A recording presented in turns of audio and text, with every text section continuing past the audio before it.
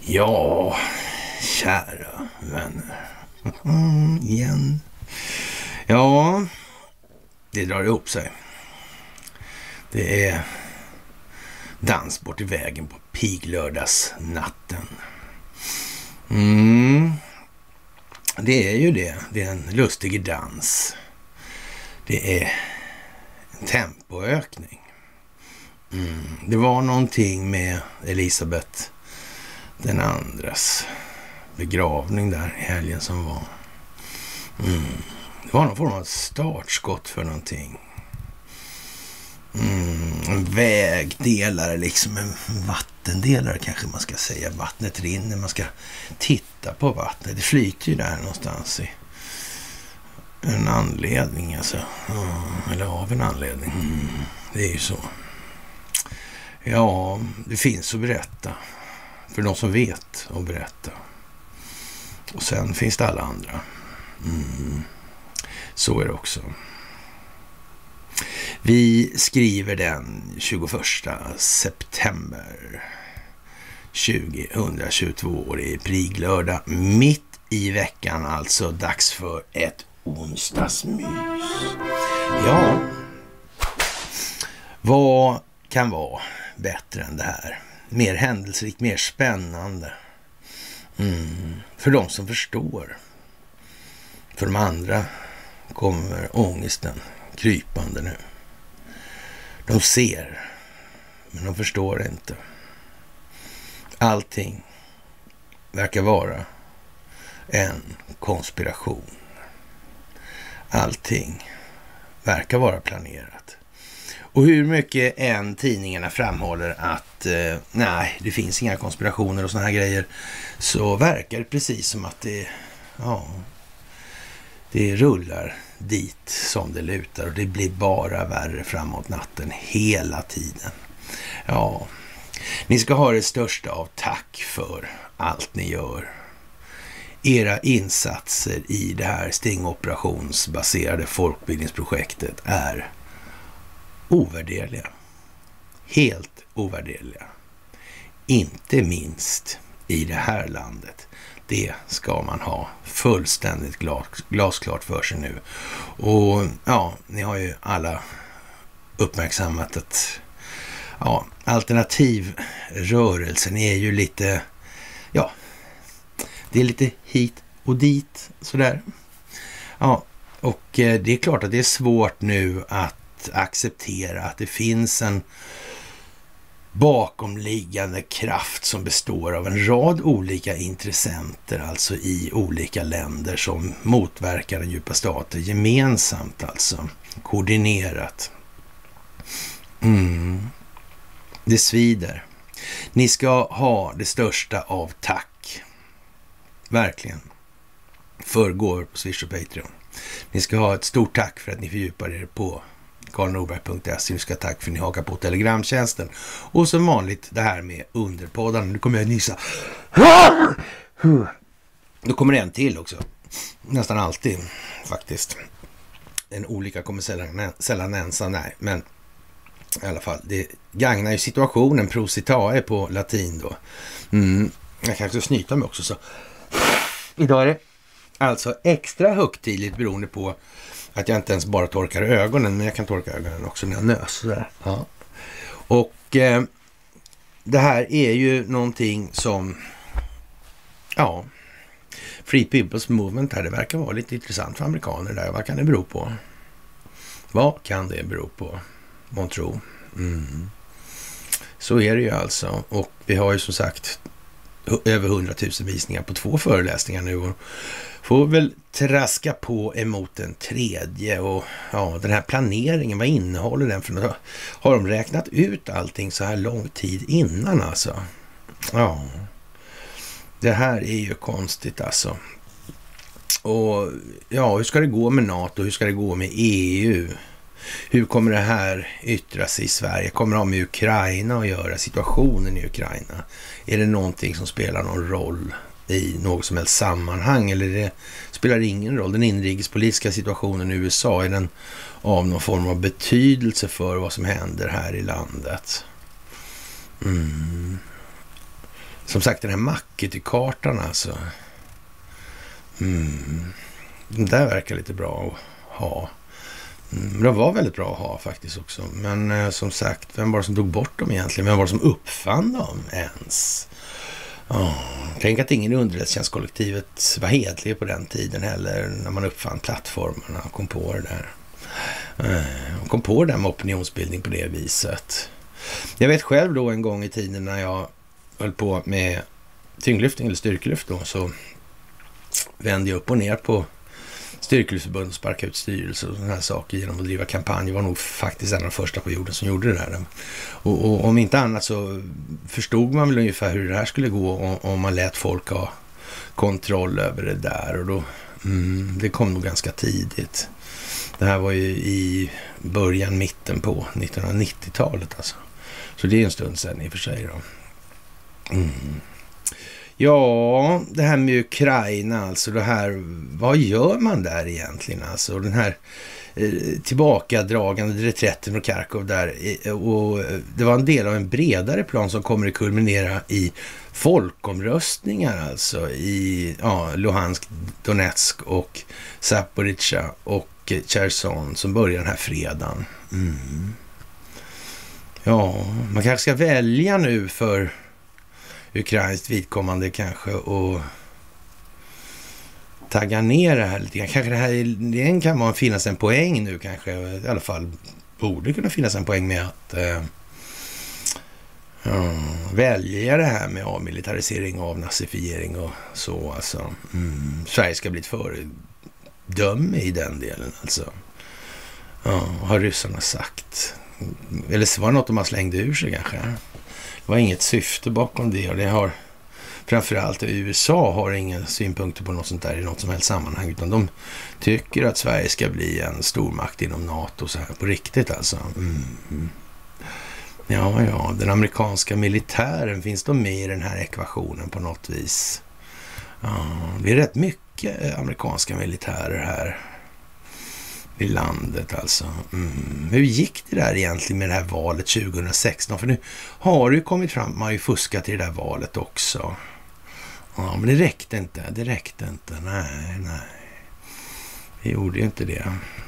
Man kunde ju, även om det var någon annan som tog för stal fusket, så kan man ju inte gärna anföra det som skälig grund för någonting. Att vi, vi fuskar, men de fuskade tydligen också mer än vad vi fuskade kanske inte blir så bra. Nej, kanske inte. Mm. Det kan ju vara så alltså. Och eh, det här är alltså ingen eh, ja, tillfällighet det här med det här valet. Alltså nu kommer saker och ting dras till sin spets på ett helt annat sätt än vad som var fallet tidigare. Det kommer att bli mycket mer tydligt nu ur en rad olika perspektiv alltså. Och man använder alltså den militära operationen som hävstång för att tvinga fram seriösa förhandlingar om Donetsk och Luhansk framtid och oberoende i det här. Och eh, man, man får väl eh, gissa på att liksom det handlar någonstans om det här med rysk lag också. Den där som man har ställt över internationell lag för ryskt vidkommande. Man verkar lite misstänksam mot det här internationella rättssystemet och de personer som finns inom ramen för det systemet. Vi kommer tillbaka till det alldeles strax här. Vad är det för figurer då som har upprätthållit det här? Har de inte begripit någonting de då eller? Nej, jag vet inte. Hur är det där med, med, med regeringsformen, abolition och allt det här? Är det någonting som spelar någon roll egentligen? Det här med att man inte egentligen kan utkräva ansvar för någonting i det här landet av folk som begår vidrigheter över hela planeten. Man har nästan, man kan nästan säga att man har satt det i system faktiskt. Det är liksom på något vis så att det här handlar för eh, det internationella världssamfundet om det svenska rättssystemet, märkligt nog alltså. Det är ju konstigt att man säger så. Eller inte så konstigt kanske. Nej, det kanske inte är det alltså. Och eh, Ryska duman har alltså träffats och antagit lagstiftning som kommer att styra hur nya territorier tillsammans med deras medborgare släpps in i den ryska republiken. Och, och ja, det här beslutet om att hålla den här folkomröstningen togs för några veckor sedan bara då sådär. Och eh, Ukrainas fortsatta beskjutning av civila i Donbass gjorde det här till en absolut nödvändighet alltså. Mm, det går liksom inte att de håller på och skjuter artilleri på de här civila människorna där. Det är ju liksom inte, det är folkmord alltså. Mm, rakt av. Och ja, när omröstningarna är klara och resultaten tillkännagivits kommer nästa drag att vara Rysslands, det vill säga välkomna de här före detta ukrainska oblaterna till, oblasterna till den ryska republiken. När de väl släpps in kommer det vara ytterligare, varje ytterligare attack från Ukraina på dessa territorier att vara en krigshandling mot Ryssland. Och eh, Putin har gjort det här mycket tydligt att han kommer agera mot varje nation som för krig mot Ryssland och dess medborgare. Och därför har han alltså gjort den här mobiliseringen, en partiell mobilisering i vart fall. Och ja, man har ju egentligen inte, trots vad Bert Sundström och gänget säger, så har man ju inte ställt upp så mycket ändå. Som sagt, det är lite märkligt det där med Kina och, och ja, Nordkorea också där i den här ekvationen. Mm, de har gett sin synpunkt eller sina synpunkter på utvecklingen. Mm. Ja, han var ju ganska bra vän, va, Kim Jong-Un med Donald Trump, så som hade kommit överens helt enkelt där. Mm. Ja, det är tur att Sverige ligger bra till i Nordkorea, har gjort länge, alltså väldigt länge. Alltså, vi har ju varit sån här um, skyddsmakt då, eller åt då, eh, ja, till exempel stora delar av Five Eyes-länderna om inte annat. Lustigt nog alltså. Jaha, och eh, det här uppmärksammas naturligtvis från USA och NATOs sida då. Och ja, om de fortsätter att möjliggöra ukrainska attacker mot ryska medborgare kommer de att bli måltavla som svar alltså. Ja, okej. Okay. Det kan man ju tycka låter dramatiskt alltså. Och eh, man får väl eh, nog eh, nästan gissa att det kommer bli lite stelt och tråkigt här vad det lider alltså. Det, det verkar svårt att tro att det här eh, ja, går bara liksom med, med snack som vanligt. Det tror jag faktiskt. Eh, ja, trist historia skulle man kunna säga. Och eh, ja, hur egentligen kommer Ukraina att välja? Vad har de för val? Liksom? Det här kommer ju bara att öka trycket hela tiden. Så. Och, och förr eller senare kommer den ukrainska befolkningen att säga ifrån. Och eh, det är jag inte säker på att Zelensky faktiskt gör sitt yttersta för att framställa sig själv i någon särskilt positiv dager. Man kan nästan, eller i vart fall nära nog, eller i varje fall nära nog få intrycket av att han faktiskt gör vad den djupa statens paladiner alltid gör nu. Alltså. De kan inte backa. Nej. Sen är det ju naturligtvis alltid lite oklart av vem som är ren skådis. Nu är ju han ren skådis. Va? Så, så ja. Ja, som sagt. Eh, det är ju lite eh, speciellt får man nog säga. Och, och, och, om Kina då stödjer Ryssland på det här draget är det troligt att Ryssland har försett Kina med garantier om att Moskva kommer att stödja Peking när det bär av mot Taiwan så att säga.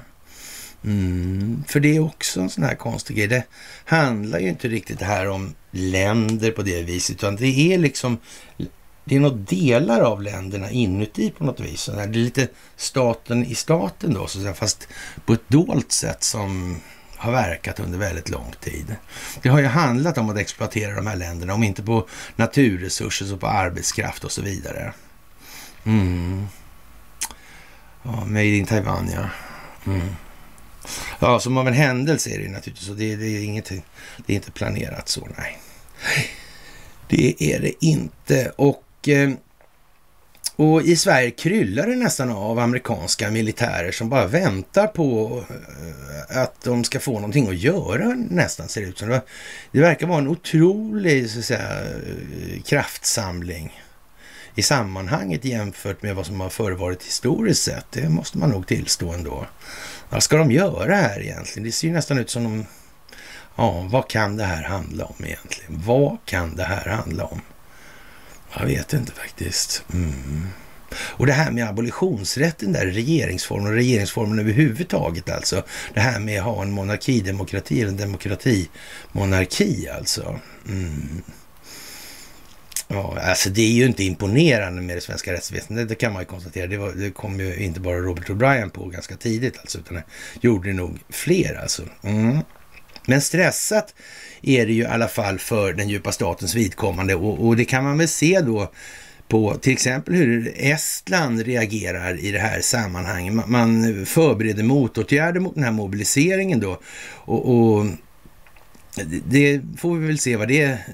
De kommer att förbereda ett åtgärdspaket som svar på tillkännagivandet av en partiell mobilisering i Ryssland, säger biträdande befälhavaren försvarsmakten generalmajoren Veikko Vello Palm till eh, en, en kanal som heter R, nästan R, nej men nästan i alla fall. Det här är en tillräckligt viktig händelse för att prata om det direkt. Alltså utvecklingen av vårt åtgärdspaket är i slutskedet och kommer att presenteras för ministern mycket snart, säger Palm då. Och Eh, han tillade att NATOs reaktion på Rysslands agerande beror på vilka steg alliansens politiska ledning tar. Det finns dock inget direkt militärt hot mot Estland, sa Palm. Nej, det är ju lite speciellt nu, det får man ju säga alltså. Och de många börjar se det här också. Och vi kan vara helt säkra på faktiskt att alla eh, Ja, om vi ska ta då de här delarna då, då som man kanske inte ska ha någon sån här jätteutpräglad politisk anstryk, anstrykning på då, eller av då, eller till, eller hur vi nu väljer att uttrycka det. Alltså, men vi tar rättsväsendet, vi tar polisen, vi tar militären och så vidare. Det kanske inte ska vara så där jättemycket politik. För den här politiken tycks vara otroligt beroende av ekonomi och den här ekonomin i sin tur, den tycks vara eh, uh, verkar otroligt eller inte alltså, men det verkar vara beroende av det här med pengar, alltså betalningsmedlet. Och det här betalningsmedlet så vitt det är känt, det är fortfarande bankernas eh, räntebelastade skulder. Konstigt alltså. Konstigt. Och jag vill väl säga det en gång till då, då, så för att göra det här lite mer tydligt. Alltså, det här med Great Reset, vad fan är det för någonting alltså? Vad är det för någonting? Hur gör man en Great Reset utan att realisera förluster i bankernas balansräkningar? Hallå? Hur gör man det? Det är ett skuldöverskott eller ett säkerhetsunderskott om man vill. Kollateralen, alltså säkerheten, det kollaterala värdet. säkerheterna räcker inte till alltså. Det här är någonting som är byggt på finansiell tillgångsprisinflation. Det finns inte en chans i helvetet att de här fiktiva finansiella värdena har ett realvärde. Alltså det går inte. Det, det, här är inte jättesvårt. Det är inte kärnfysik. Det är inte ens dagislogik alltså. Det här är jätte, jätteenkelt. Och ja, vi bör väl då i vårt fall, i svenska fallet i alla fall, så bör vi nu ta fasta lite grann på det här med monetärmekaniken i den meningen att håller man sig i, i, eller rättare håller man sig någorlunda strikt till den här problemformuleringen utifrån förståelsen av att det faktiskt inte är möjligt att genomföra på det sättet som de här ja, teatraliska beskrivningarna anför då, då, då blir ju diskussionen en eh, lite annorlunda historia alltså. Då, det kanske är på så vis att det, det kan ju vara lugnande också så. Eh, att det är klart att man måste hota i det här läget med att det blir jämmer och elände och djävulskap. Men det, får, alltså det är två, det är dubbeläggat det svärdet. Dels måste vi få upp människor på tå alltså. Det går inte att folk beter sig som de har gjort hittills, för det har lett oss till var vi är nu. Mm. Men eh, det är ju ena sidan. Å andra sidan så har ju folk, när de hamnar i affekten, ganska utpräglad eh, ja, så att säga, instinkt av att reagera utifrån fel grunder då. Det här är ju ett felaktigt system om man ser till det allmännas bästa. Och, men de reagerar enligt systemmallen i alla fall. Och det blir lite tokigt i det här läget. Det handlar ju någonstans om att gå lite balansgång där. Det gäller att få folk att förstå att det, Eh, det här och det här måste förändras och det går inte att ha. Det går inte att fortsätta vad det finns ingen möjlig reset alltså. Rent monetärmekaniskt. Det går inte att göra på det viset. Någonstans i det här måste de här fiktiva ja, värdena hamna mellan hammaren och städet. Mellan skål och vägg alltså. Det är det som gäller nu alltså. Mm. Och det är bra om man får folk att förstå det. Därmed absolut inte sagt att de...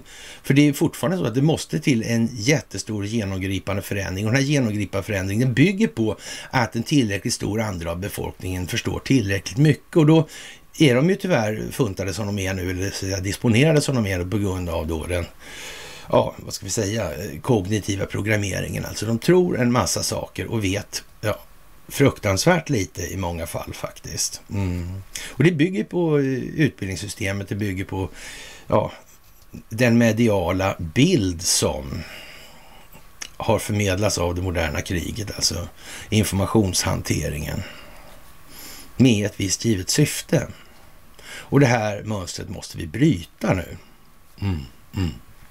Och eh, ja, vad ska vi egentligen lägga till i den delen? Det, vi kommer ju tillbaka till det här. Och, och, varför oroar sig svenskarna över sina pengar? Vi har ju den statliga insättningsgarantin. Nu kan man ju raljera kring det här som fan och ibland måste man faktiskt göra det för att inte bara storkna i allt det här nu alltså. Det, det är ju dumt så det räcker och blir över också. En hel del blir över skulle man kunna säga. Och Ja, och, och, och, man är rädd om de få kronor jag har. Och, om man nu så säger så här att är man, sitter man och rädd om de här pengarna då? Då, då, då, jag menar antingen ska vi ju ha ett samhälle och så ska vi inte ha ett samhälle och så får man liksom man får gå därifrån då. Om alla ska sitta och vara rädda om sina pengar, då får de väl sitta och vara rädda om sina pengar då om de tycker det är det smartaste de kan företa sig. Men jag är ganska så säker på att det är inte någon bra väg i framtiden. Eller längre ens. Nej, det är nog inte det nu. Alltså. Nu måste man faktiskt tänka till här och anstränga sig lite i vad som nu kommer. Det är helt jävla säkert. Jaha, Kinas president Xi Jinping uppmanar den kinesiska militären att fokusera på att förbereda sig för militära insatser. Det kommer samtidigt här nu alltså. Mm. Det gör ju det alltså. Det, det, det är ju inte exakt småsaker vi pratar om här alltså. PLA eller People's Liberations Army, det är ju ingen liten apparat alltså. Det är runda slänga 2,5 miljon soldater alltså. Mm. Det, det kan man säga är lite grann. Den amerikanska armén till exempel, den är på 300 000 man. Det, det är en lite mindre pryl alltså. Mm. Och han gjorde det här vid en konferens om nationellt försvar och militära reformer i Peking. Det är nödvändigt att samvetsgrant sammanfatta och tillämpa de framgångsrika erfarenheterna av reformer, bemästra den nya situationen och förstå kraven på uppgifter, fokusera på förberedelse för krig och även ha modet att utforska och förnya sig, citerade nyhetsbyrån Xinhua, kinesiska ledare vad han har sagt då så är det, ja, det där är ju lite, det kommer liksom nu. Det verkar som de slår, tänk att de slår ihop det här samtidigt. De gör inte det på grund av koordination, det handlar ju inte om den djupa staten. Det är inte djupa staten som är motståndet det här, det är det inte absolut, absolut inte, för den djupa staten finns inte. För då hade det stått i svensk media att den existerar. Mm, amerikanska politiker säger att den djupa staten existerar nu, men egentligen så består det av samvetsgranna samhällstjänare som vill allas bästa. Som svenska politiker kanske då menar de. Sverige är ju en humanitär stormakt och den svenska befolkningen är inte dömd att upptäcka att dess välstånd har offrats mot falska solidaritetens allt. Så inte alls. För då hade någon sagt något. Ja då, det hade de gjort. Ja, ja, ja, ja, ja. Ja, och eh, även kärnkraftsutpressning spelar in här nu. Alltså, vi talar inte bara om beskjutningen av kärnkraftverket i Zaporizjzja utan uppmuntrad av väst, vilket hotar, en, hotar att utlösa en kärnkraftskatastrof. Och, och där, där, ska vi väl då lägga till, det här får man ju ta med en gruva salt alltså, för hur, hur det är med farlighetsgraderna i de där sammanhangen, det vet inte vi särskilt mycket om alltså. Och det här med eh, atomvapnet och den verkliga innebörden av det egentligen, det verkar nog som det ligger i farans riktning. Det där är någonting som måste förtydligas för allmänheten då. Och eh, ja, eh, man kan väl säga att NATO-representanter har en tendens att, ja, spela upp det här på något vis alltså och, och möjligheten och, och tillåtligheten av att använda massförstörelsevapen, alltså kärnvapen alltså mot Ryssland. Det är ju konstigt alltså, där man spelar upp och så. Men vi, vi ber Putin att låta bli då liksom. Eller Biden gjorde det, eller underlivsporslinet gjorde det, eller ja, residenten eller vad vi vill kalla honom för. Och, och ja, och till de som tillåter sådana här uttalanden om Ryssland vill jag påminna er om, det här eh, säger man från rysk sida alltså. Eh, ja, vad ska man säga? De vill påminna om att Ryssland har faktiskt olika sätt att förstöra och i vissa delar mer moderna än NATO-länderna alltså, och, och ställa till det ordentligt alltså. När rysk territoriell integritet är hotad kommer Ryssland säkerligen att använda alla medel som står till dess förfogande för att skydda Ryssland och dess folk. Och det är ingen mindre då än, ja, det är Vladimir Putin som säger så här. Mm. Det kanske är en signal till den amerikanska befolkningen. Vad Är det lämpligt det här? Jag menar, det är klart att det finns ju jättemycket käcka svenskar. De är ju kavata och tuffa gubbar alltså. Mm. Men när det kommer mellan skål och vägg, jag vet inte fan hur man ska se på det där egentligen. ÖB verkar han vara sån. Ja, det var svårt att säga. Men han går i alla fall i Pride-tåget, så det kan man säga. Mm. Kan det vara så att det är meningen att han går i Pride-tåget och det är meningen att mustanten ska hålla på som hon gör och så vidare i de här sammanhangen? Kan det vara så att de har fått oemotståndliga erbjudanden? Kan det vara så? Möjligen, kanske lite. Lite, lite, lite. Det, blir, det här var en typisk sån här um, frimurargest. De ger sig inte.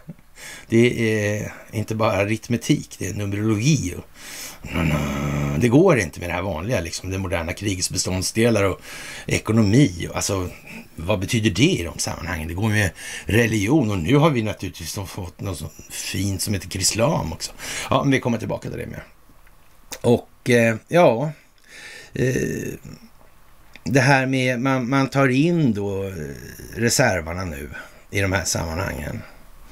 Mm.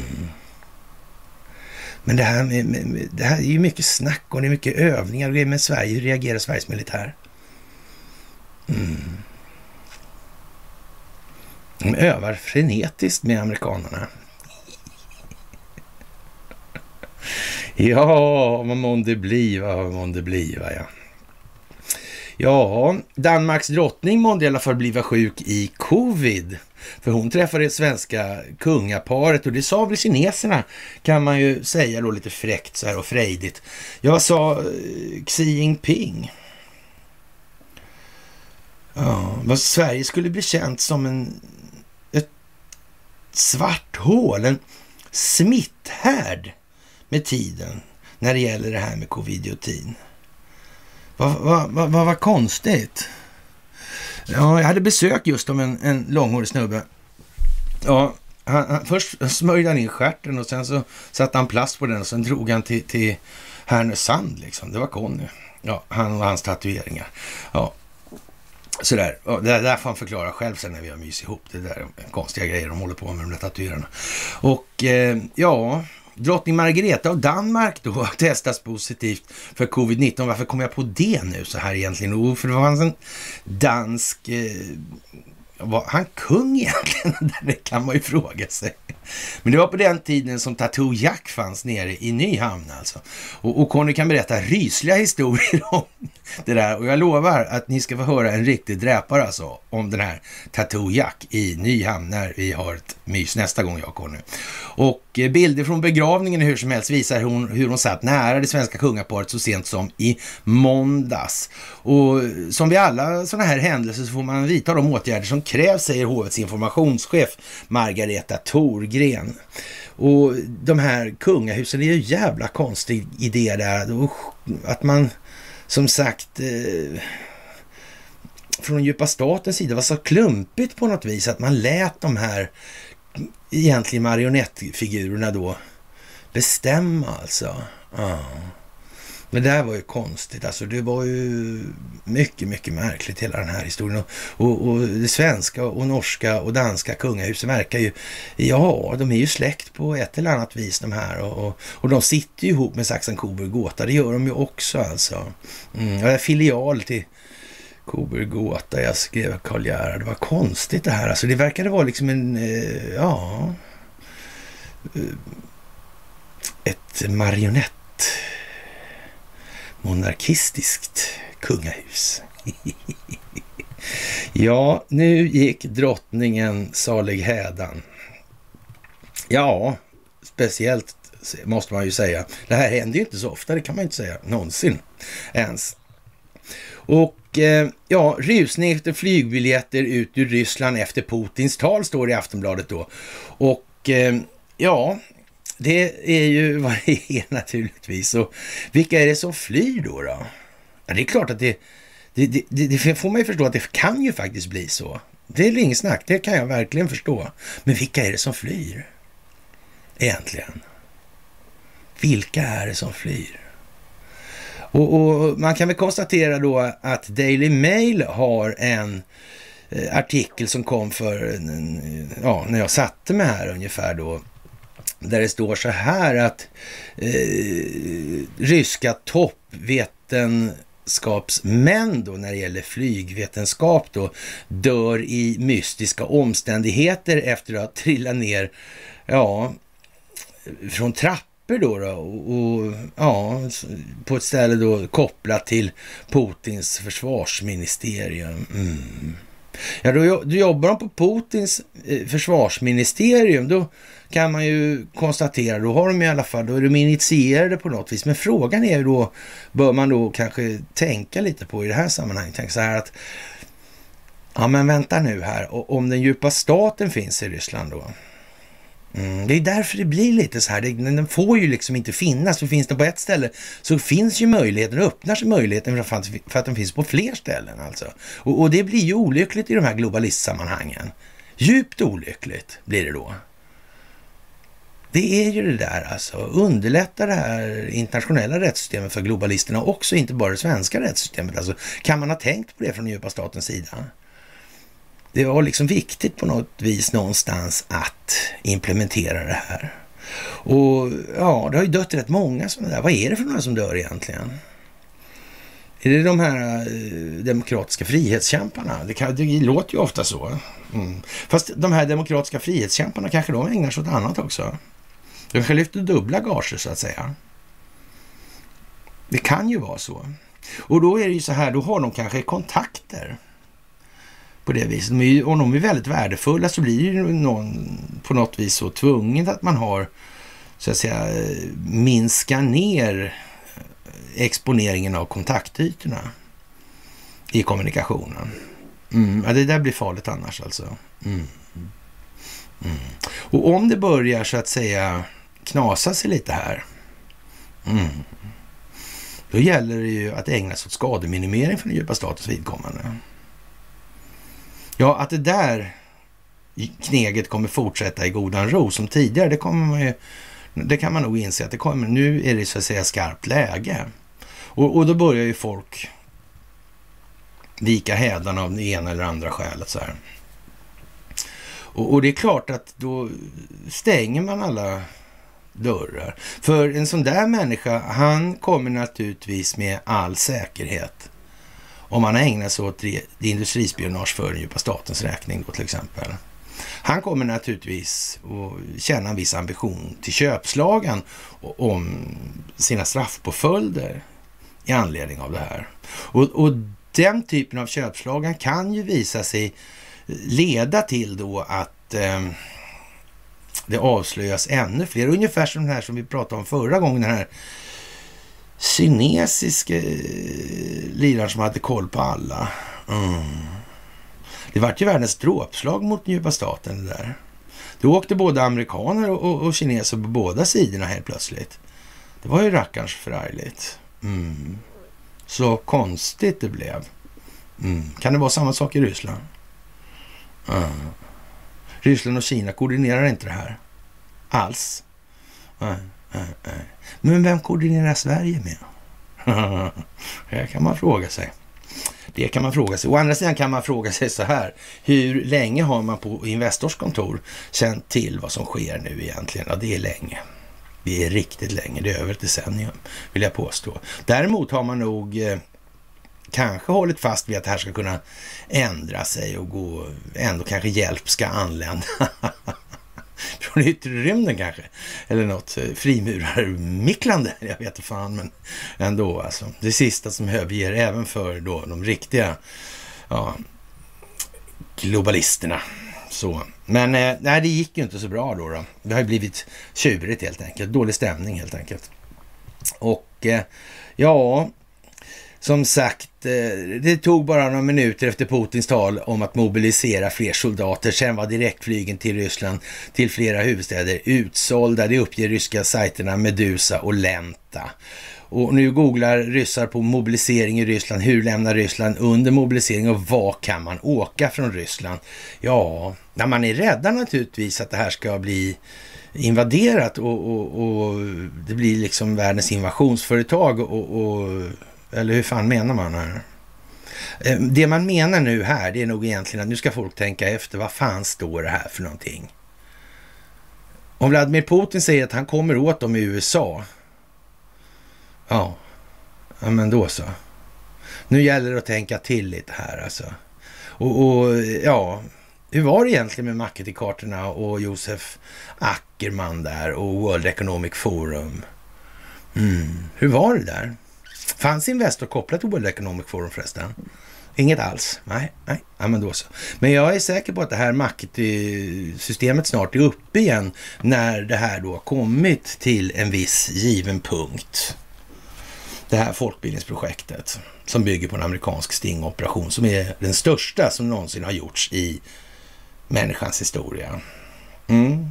Det är inte så litet, det är stort. Och vi utgör en väldigt viktig del i det här som en konsekvens av att kärnan på den djupa staten faktiskt befinner sig där den befinner sig. Det är bra att tänka på nu faktiskt. Ja, allt fler övningar med USAs militär i Sverige. Den amerikanska militära närvaron blir allt mer frekvent, alltså precis som vi sa tidigare. Alltså. Hittills i år har det rört sig om 20 övningar med eller besök av amerikanska militära enheter ungefär varannan vecka, rapporterar Dagens Nyheter. Jag förutser Fler övningar med svensk trupp, säger general Daryl Williams, chef för USAs och NATOs arméstyrkor i Europa. USA vill göra det klart att man försvarar hela Europas territorium från norr till söder och Sverige är en stor del av detta enligt Williams. Hans första utlandsbesök som nytillträdd på sin post gick till Sverige och Finland. Ja, vad ska man säga här egentligen? Vad kan det här handla om, månntro? Ja, man kan ju säga så här att och, och, och, och om den amerikanska militären finns inblandad och det här är en stingoperation alltså. Mm. Och det här Q-projektet är en del av då opinionsbildningsdelen av det här. Så, som någonstans den amerikanska militären finns inblandad i. Ja, då är ju det här ett väldigt konstigt uttalande. Ett väldigt, väldigt konstigt. Ja, jag, förut, jag förutser fler övningar, det tror fan det i så fall, med svensk trupp, säger general Daryl Williams, chef för USAs och NATOs arméstyrkor i Europa. Jag vet inte vad man ska säga.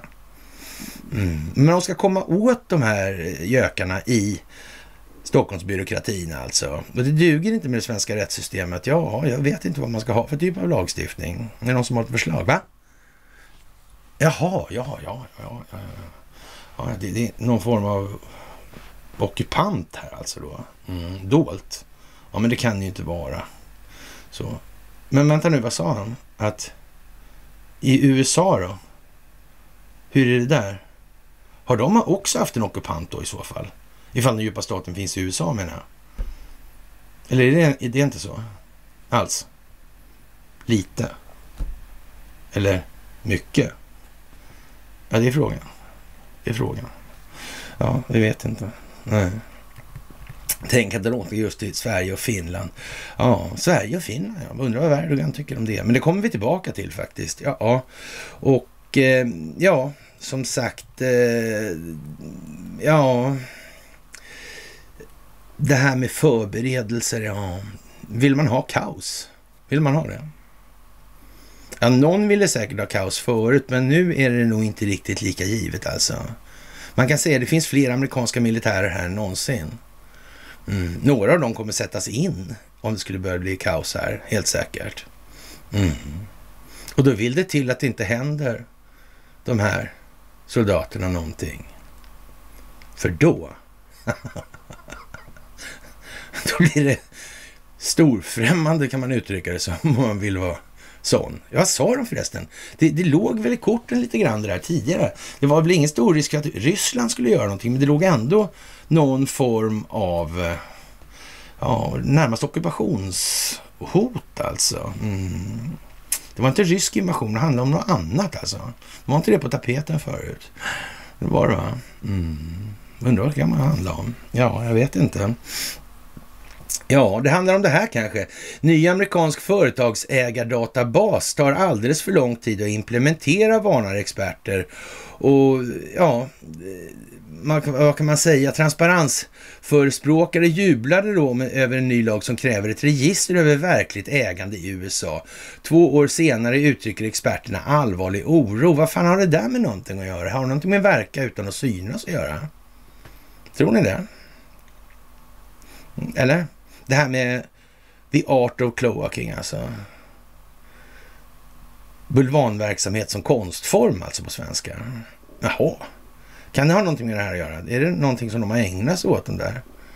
Eh, ja, de har gjort en konstform av det. Ja, visst, jag förlåt vad dumt men jag inte tänkte på det då. Mm. Så, förlåt. Ja. Jaha, eh, en viktig amerikansk reform som utformas för att stoppa anonyma företag som döljer olaglig verksamhet och pengar ja, som stannar kvar då i USAs finansdepartement. Då. En global penningtvättsundersökning ledd av International Consortium of Investigative Journalists stimulerade krav på stärkta skyddslagar. Alltså. Experter säger att finansdepartementet ligger mycket efter med eh, schemat när det gäller att implementera lagen som ger regeringen mandat att samla in ägardata från företag som är verksamma i USA. Vad kan det här bero på då? Tro. Mm. Ja, det, kan nog ha, det kan nog vara lite grann som det här med att när man springer inte och frihetsberövar Hillary Clinton och avrättar henne på Gitmo. Ah. Det verkar dumt alltså. Det verkar dumt. Mm. Resten av den djupa staten skulle förmodligen reagera på det alltså. De skulle misstänka något och sen skulle det vara... Då skulle det dras ihop alltså. De här cellerna skulle lösas upp i tysthet i mörka natt. Mm, men det är inte önskvärt alltså. Öppenhet och transparens, ljus från verkligheten, det är önskvärt. Mm, då blir inte, det där blir inget bra alls alltså. Det blir det inte faktiskt. Ja. Eh, transparensförespråkare ja, jublade över den nya lagen tidigare, alltså, men oroar sig nu alltså för förseningarna. Det är så allvarliga att det så viktiga registret kan förbli ofärdigt till nästa presidentval och att en ny administration kan ha mindre intresse av att implementera och försvara lagen. Ja, var sak har sin tid. Det gäller att ta lagom stora tuggar av elefanten för att det inte ska bli ostyrigt eller ohanterligt alltså. Och, och, det är klart att det finns mycket oro för att Biden-administrationen kommer att ta hela fyra år för att slutföra reglerna för att upprätta registret för verkligt ägande i det här. Och, och Ja, det kanske är så alltså. Det är svårt att förstå varför det tar så lång tid. Ja, det kanske det är om man inte tar hänsyn till att det här handlar om att motverka den djupa staten. Det handlar om att göra det koordinerat, samfällt med andra intressenter i andra länder som vill detsamma. Så. Det är liksom inte så jävla jättesvårt egentligen alltså. Jaha, och eh, i hjärtat av förseningarna säger experter så finns finansministeriets försök, alltså slutföra regler, så måste det finnas, plats, finnas på plats innan ett ägarregister aktiveras. Alltså en databas ska göras tillgänglig för brottsbekämpande agenter och bankens lev, efterlevnadsansvariga. Hur var det här egentligen? Är inte det liksom lite mackigt eh, stuk på det här på något vis? Det är väl det. Mm. Men den där hade inte varit bra. Alltså det hade som sagt varit lite grann som att stoppa en laddad revolver eller pistol, eller ett laddat vapen i vart fall, i händerna på en femåring. Ganska dumt alltså. Det kan egentligen bara sluta på ett sätt, faktiskt. Och eh, ja, vad ska vi säga? Det är liksom inte svårt att se vad det här handlar om i den meningen alltså. Nej, det gör ju inte det. Och, och man, det, det, går ju mycket ut på det här att om man nu, de här bolagen alltså och aktieägandet där, alltså handelsplatsen. Mm. Låt mig se och tänka här nu. Mm. Hur kan det vara alltså? Alltså själva marknadsplatsen alltså. Skulle det där äh, Nasdaq, skulle det kunna vara liksom någonting som har med det här att göra? Eller? Jag vet inte, jag bara undrar. Alltså. Lite sådär spontant alltså. Ja, ja. Och det här skulle vara klart för äh, månader sedan, men hittills säger experter att Ja, de har bara eh, föreslagit en av de tre uppsättningarna regler som behövs för att lansera ägardatabasen alltså. Och, och, ja, och inte ens denna första uppsättning som styr hur data kommer att samlas in och vem som måste rapportera företagsägande, det har, har liksom inte slutförts av något vis alltså. Eller av någon anledning. Mm. Kanske det finns ett motstånd etablerat ute på den fria marknaden. ja, vem vet alltså, vem vet alltså. Ja, ja, ja, ja. ja. Och ja, det, det, det där är ju liksom också rätt så uppenbart vad det handlar om. Och det är då märkligt att det här har bäring på samma lilla kluster hela jävla tiden alltså. Och, och, och det är ju liksom många människor som delar och har så här nu. Och, och ja, sådär alltså. Och det här med de här internationella juristerna naturligtvis som spelar en ganska stor roll i de här sammanhangen. Och ja, då är det ju så att eh, ja, HFD-chefen, alltså en svensk jurist i internationella sammanhang, Högsta förvaltningsdomstolens sam samarbete med franska Conseil d'État, ja, vill därför rikta ett varmt tack till mina kollegor i Högsta förvaltningsdomstolen som har bidragit till det här samarbetet blivit så lyckat alltså. Och naturligtvis får man vad man förtjänar då. Nu är det ju naturligtvis inte kanske möjligt, eller det här är ju naturligtvis inte alls möjligt, men, men ändå, det är ju som lite skrattretande. Man får inte Serafimerordnar längre på det viset alltså. Men man har tydligen varit jätteduktig i de här olika, de här förvaltningsdomstolarna är naturligtvis ingenting som har med, med liksom Stockholms byråkrati att göra. Nej. På all, minsta vis så, ja, vad ska vi säga egentligen? Ja, hon får i alla fall hederslegionens nationella orden. Högsta förvaltningsdomstolens ordförande Helena Jäderblom har mottagit, mottagit hederslegionens nationella orden efter beslut av Emmanuel Macron. Alltså. Och det är Frankrikes högsta utmärkelse. Hon sålla, sällan, sållar sig, ja, kan man ju fan säga alltså. Säg nu till, sällar ska det kanske vara, men sållar sig duger alltså här alltså. Till svenskar som Hans Blix. Och jag tror att det fanns en annan lirare som fick det här för ett tag sedan också. Och Margot Wallström och, och ja, sådär som också mottagit utmärkelsen. Jag är oerhört glad och hedrad över utmärkelsen, säger Helena Jäderblom i ett pressmeddelande. Enligt Frankrikes ambassadör vill landet uttrycka sin tacksamhet för Helena Jäderbloms engagemang i att försvara grundläggande mänsklighet mänskliga rättigheter och rättsstatsprincipen samt för delaktigheten i, och, i dialogen och samarbetet Frankrike och Sverige emellan alltså. Och ja, vad ska vi säga? Det är inte alls uppenbart vad det här är för någonting. Det handlar om exponering, det handlar om optiken, det handlar om bild. En bild. Inte Carl Bildt nu, utan det handlar om att skapa en bild för människor som går att referera till i förhållande till annan information som individen känner. Det handlar om folkbildning det här också. Mm. Så är det. Jaha, och eh, ja, det är som det är. Det knäar lite helt enkelt.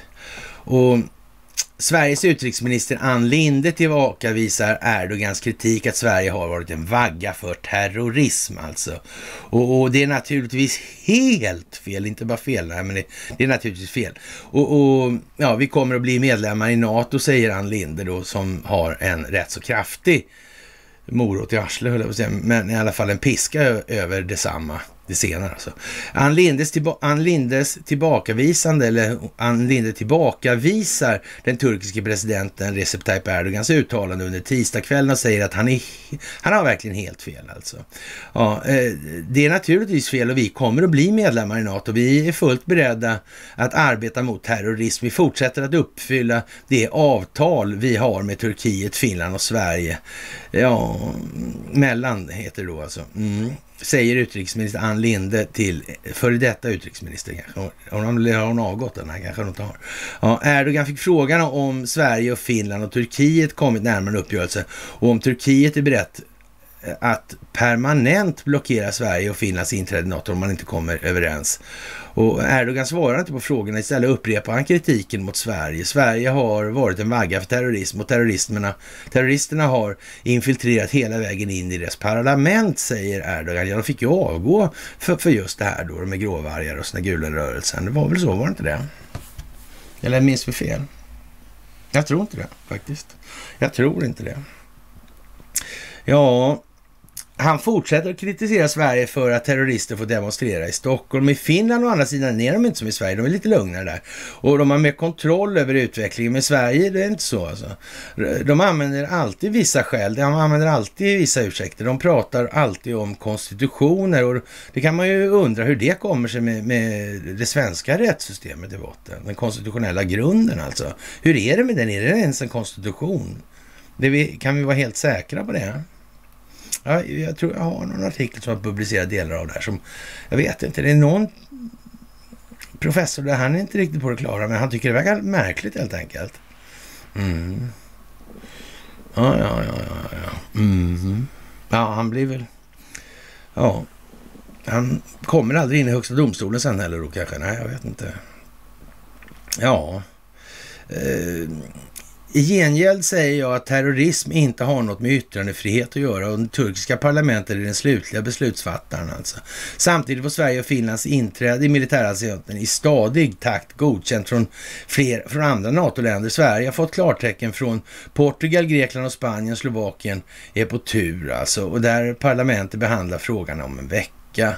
Därefter återstår bara att få godkänt från Ungern och just Turkiet. Båda länderna har, som Sverige haft tämligen gnisslande relationer med under senare år. Ja.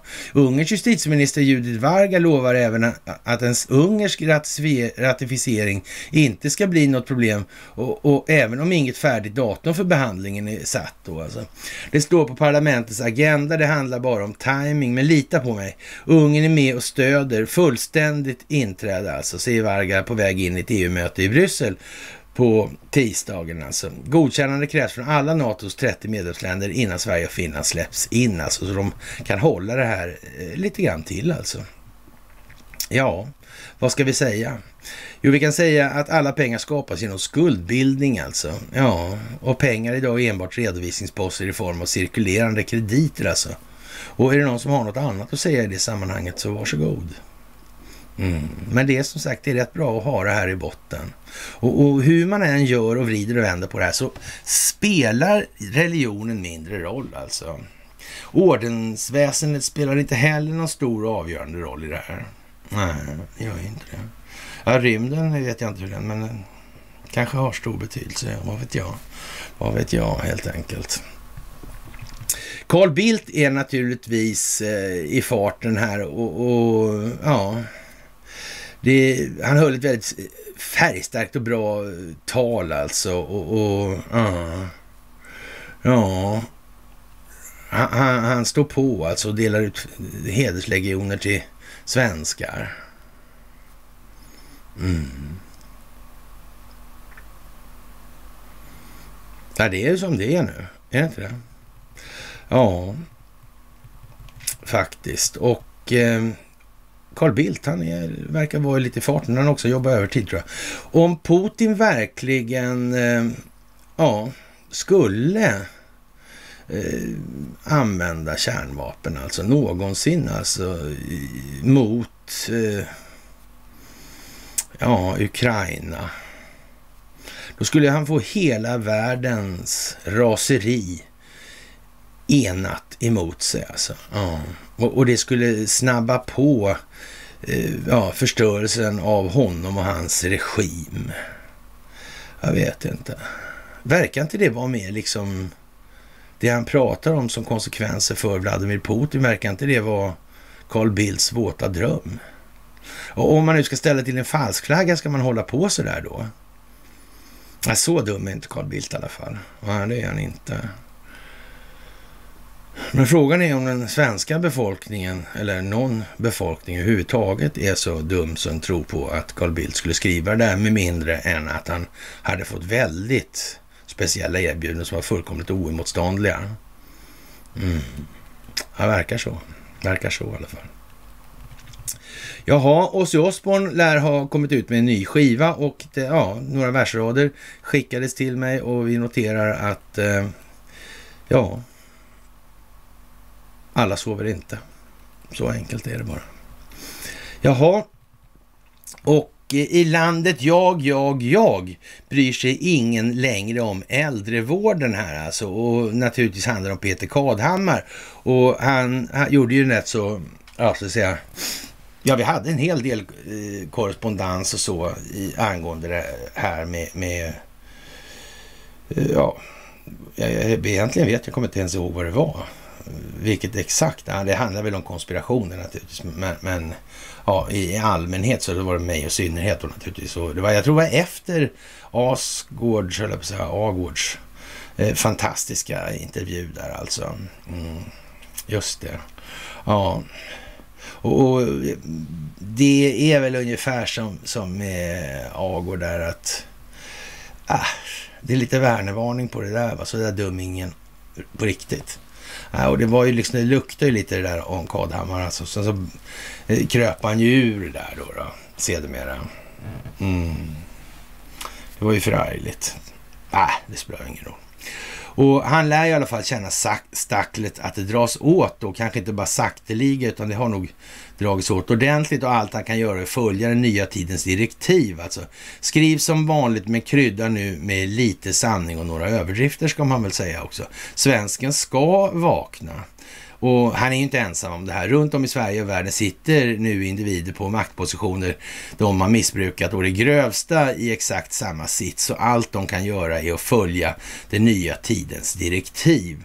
I ett allt mer accelererande tempo, allt eftersom allt fler börjar förstå allt mer och dessutom klarar av och vågar visa att så är fallet, alltså med logiskt konsekventa argument till en saklig grund alltså.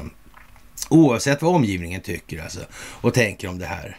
Och så kommer också ljuset från den gemensamma verkligheten att få allt mer utrymme i nyhetsrapportering världen över. De kan inte göra någonting annat alltså. De kan, kan de bara lägga sig ner och dö och det kommer de inte att göra. De är så att säga spelade på ett sätt som gör att deras handlingsfrihet är så beskuren så de har inga alternativ som är mer tilltalande eller ens möjliga faktiskt. Och eh, ja, det är ju lite tråkigt för dem kanske, men som sagt, det är deras egen huvudverk. Ja, och det finns inte ett skit alltså som de här hantlangarna kan göra åt saken längre alltså.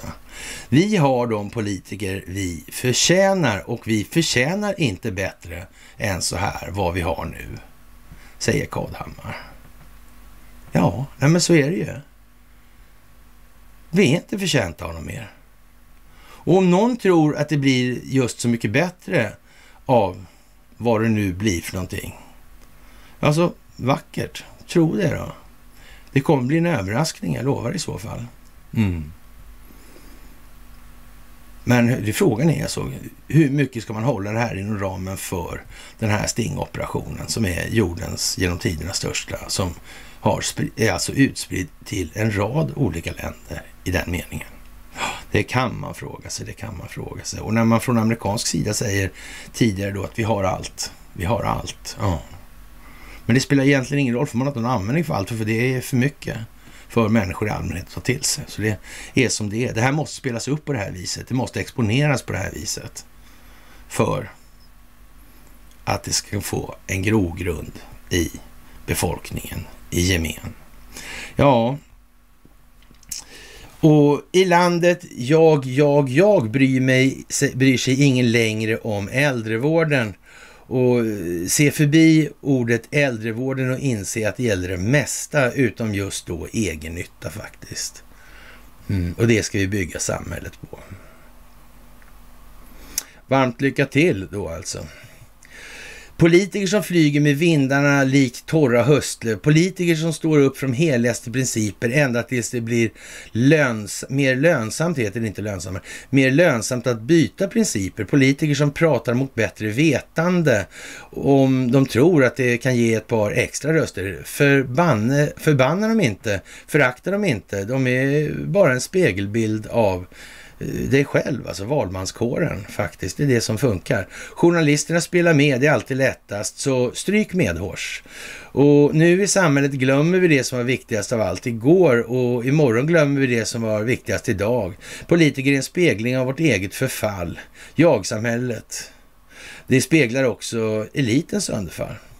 Eh, skratta inte, sucka inte, himla inte med ögonen. Eh, vad du ser är dig själv och din samtid. Jag, jag, jag. Ja, det här är ju speciellt får man ju säga. Det är ju lite udda. Det är inte som det alltid har låtit i alla fall, det kan vi säga. Det kan vi säga. Ja, och eh, det här med hur Ryssland egentligen hanterar den här situationen och, och det verkar på något vis som att svenska medier fortfarande inte greppar det här.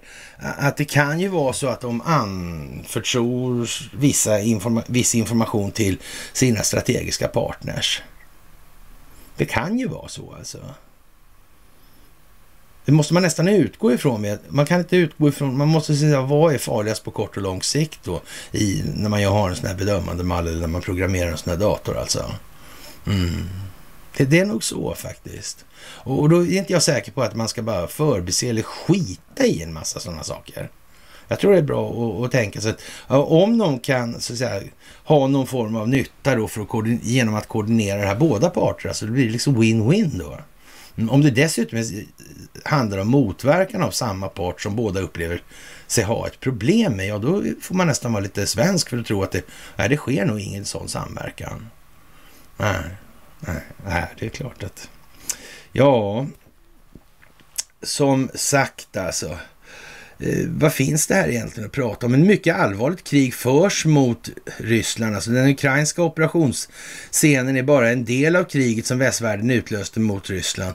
Och det börjar inte den 24 februari. Man måste komma ihåg historien om NATOs expansion och ändlösa förhandlingar. Eh, vapenförråd, spaning, tusentals legosoldater, vanliga NATO-förband har bara inte skickats i Ukraina. Det är allt. Vad finns mer att prata om? Det finns en enorm kraft som verkar mot Ryssland alltså. Och, och det måste man vara medveten om. Ja, det är väldigt tragiskt, men det är sant. Alltså valet är enkelt. Antingen kommer Ryssland att ja, sänkas eller så eh, kommer man att finna mod och kämpa för sin egen suveränitet. Det är ju vad som står till buds alltså. Alltså ambitionerna att eh, komma över de ryska naturresurserna, de, jag tror att de är kända sedan gammalt på något vis. Faktiskt. Men jag kan ha fel i det naturligtvis. Och Ja, som sagt, eh, många är naturligtvis alldeles för, förfärade över hur det här låter alltså. Ja.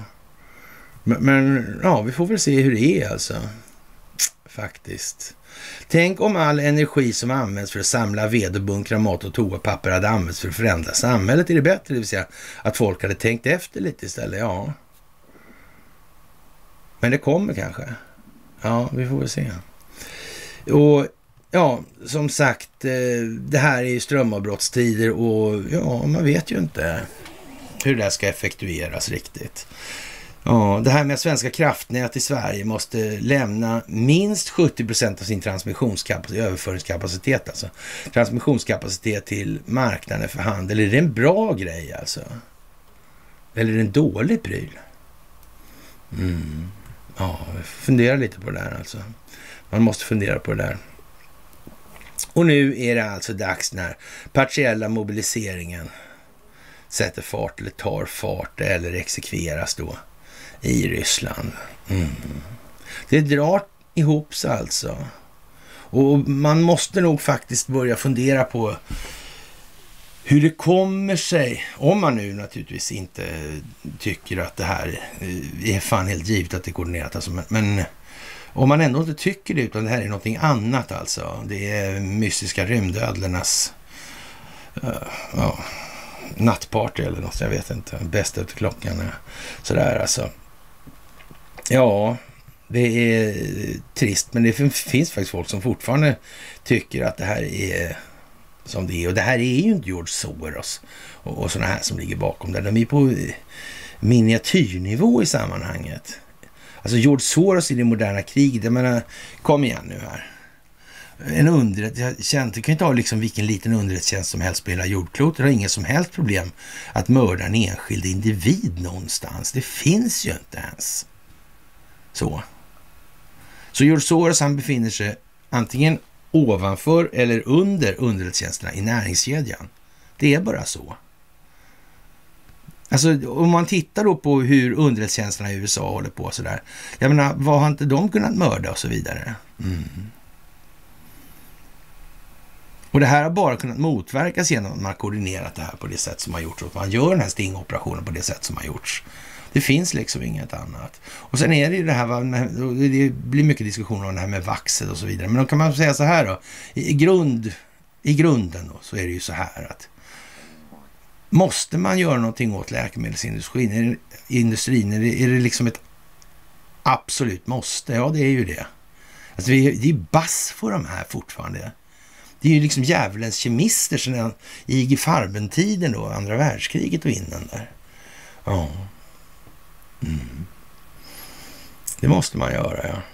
Och någonstans är det också så här att det är tiden, det är koordinationen av insatserna i det här. Mm. För strategisk samverkan. Det kanske inte har givit så många andra möjligheter att göra just precis exakt som han, gjorde, som han har gjort, alltså. Givet förutsättningarna. Det, det är ingen bra grej att springa och, och, och frihetsberöva Hillary Clinton och eh, ja, avrätta henne på Gitmo eller vad fan det, sagan gäller liksom. Nej, det här är samma sak. Men alternativet till det här är dyrare. Mer kostsamt, skapar mer, ännu mer lidande. Det är bara så. Det är bara så. Det är liksom collateral damage som det får man köpa. Och varför är det så här? Jo, det beror på att befolkningarna inte har gjort läxan. Annars hade det inte behövts. Har man opinionen med sig, ja, kan man göra vad som helst. Har man den inte med sig kan inte göra ett skit. Och det är ett av problemen i det här alltså. Alltså bortsett då från vad egentligen det här är för någonting och inte är för någonting. För det, det som vi har sagt hela tiden, tar, vi tar inga diskussioner om det. Det får visa sig ur ett rättsligt perspektiv, ett efterspel till det här.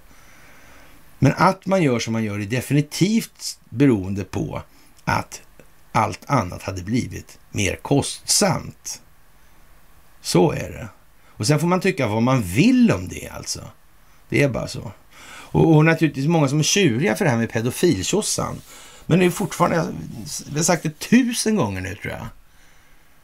Den djupa staten har ett utpressningsmonopol.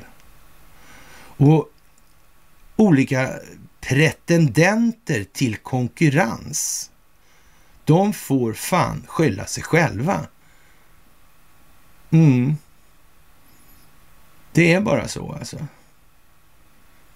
Alltså den djupa statens politiska marionetter ska inte åka fast för pedofili. Punkt jävla slut.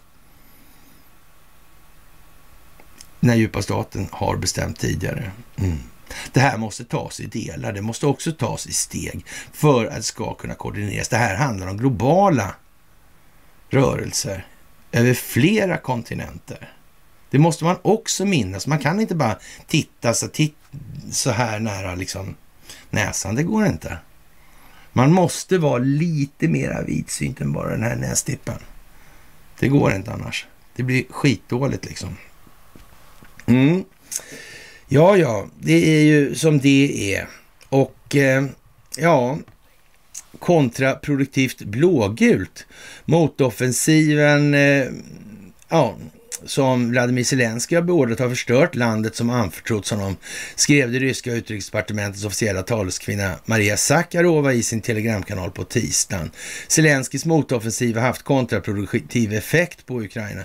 Den blodfläckade Kiev-baserade jokern från USAs sta staplade, staplade kortlek förstörde landet och de människor som har anförtrott sig honom då, eller anförtrotts åt honom. Ja, sa Sakarova, det var väl inget sån där jättebra beröm kanske och det är väl icke desto mindre sant för det, men det är frågan om vilken roll han spelar egentligen, Zelensky.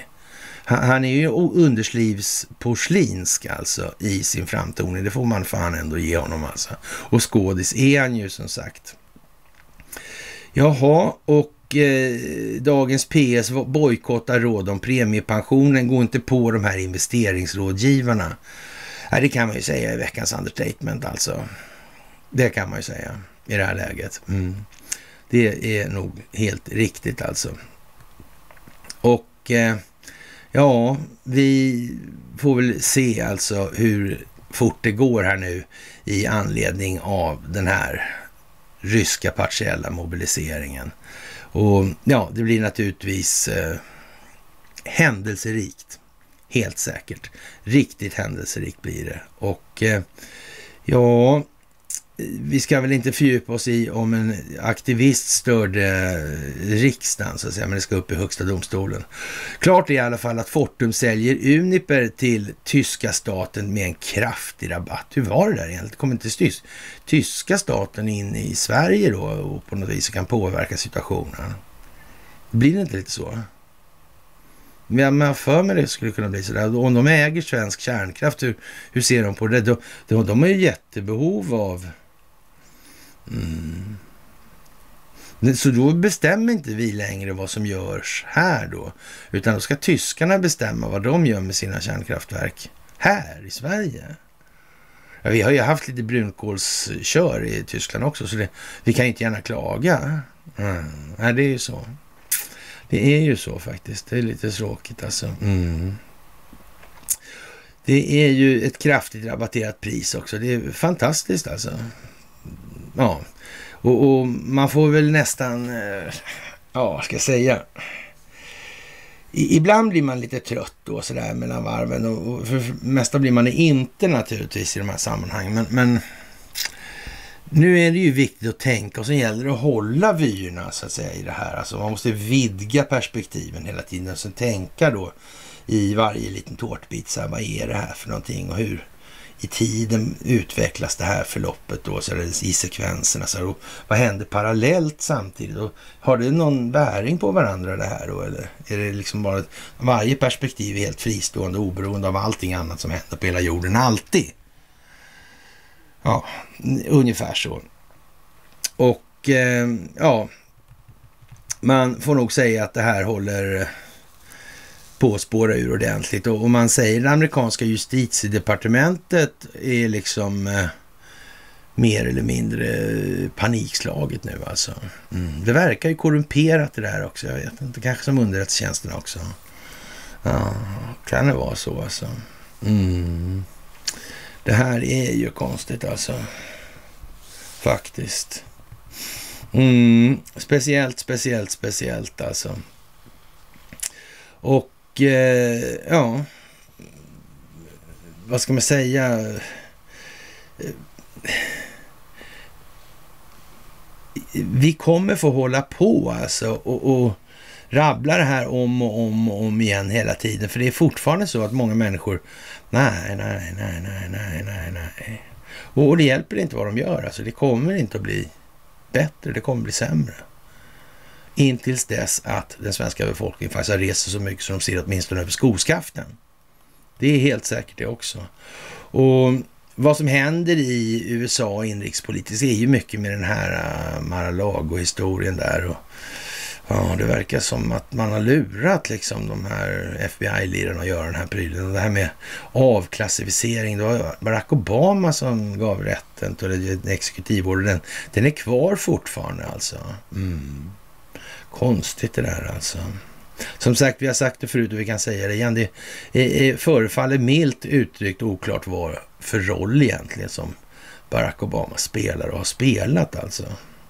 Men eh, ja, som sagt. Det är en mycket speciell situation och det här med de här klassificeringarna. Mm. Ja, verkar speciellt det också. Alltså. Mm. Men det handlar om att exponera saker hela tiden, skapa bilder. Så det kommer mer information, det kan vi vara helt säkra på. De har inte missat det i planeringen om vi säger som så. Det handlar om det moderna krigets alltigenom avgörande del, alltså informationshantering. Det är ju vad hela det här folkbildningsprojektet bygger på alltså. Mm. Det här skapas genom den här stingoperationen som inkluderar ett antal val alltså. Mm. Ja, det är ju som det är. Och eh, Uniper köps alltså av tyska staten och, och, man äger alltså kärnkraften. och Ja, det är ju lite speciellt alltså. Det, det får man ju säga. och, och mm, Vad säger miljörörelsen? Ska utländska intressen äga svensk kärnkraft? Varför skriker inte Miljöpartiet lungorna ur sig? Hur är det egentligen om det har förevarit valfusk? Om man så att säga det uppdagas senare här. Mm. Är, det no är det flera partier som kanske trillar ner? Man sa väl det från Miljöpartiets eget håll att det här har no på något sätt, då, alltså på region och kommunal nivå så, ja, det har varit en katastrof. Alltså. Men så vart det stödröster där då, då på mm, nationell nivå. Alltså vänta, det där med stödröster, det är alltså speciellt, det får man ju säga alltså. Ja. Ja. Ja, vad konstigt. Med tanke på rådande omständigheter på energimarknaden och Unipers situation är det här rätt steg att ta, säger Marcus Rauramo, vd för Fort att nu förstatliga bolaget ser den tyska staten som en möjlighet att säkra landets energiförsörjning i vinter. Så är det, är det så alltså eh, att man tänker då köra på det här nu då för, för att försörja eh, Tyskland alltså? Och vi ska ta risken med kärnkraften då? Mm. Och svenska folket tycker det är helt okej okay, antar jag, i så fall. Annars hade de väl sagt något. För, och då folk, eller rättare sagt, förlåt, de har ju valt då i det här i, i det här politiska systemet. Så nu kommer de folkvalda kommer göra någonting åt det här. Ja, ja, ja, kanske det alltså. Ja, Fortum är en aktör på den svenska marknaden samtidigt som Uniper äger en tredjedel av Ringhals kärnkraftverk via dotterbolag. Uniper och Fortum äger också tillsammans kärnkraftverket i Oskarshamn. Jaha, så förargligt. Då ska resten gå till Tyskland också. Då går ju svenska energipriserna upp ännu mer då. då. Det kan man ju inte gärna förneka dem rätten till om de äger det där. Det kan man inte tänka sådana här. Det kanske är dags nu att tänka till, liksom. Pigga upp sig lite i tanken, lite mera stringens, liksom sådär. Ja, kan vara det, kan vara det. Ja. Vi och vår sida måste veckla in det ännu mer och ja, de kanske tänker starta verken lite mer också i samband kan vi säga faktiskt.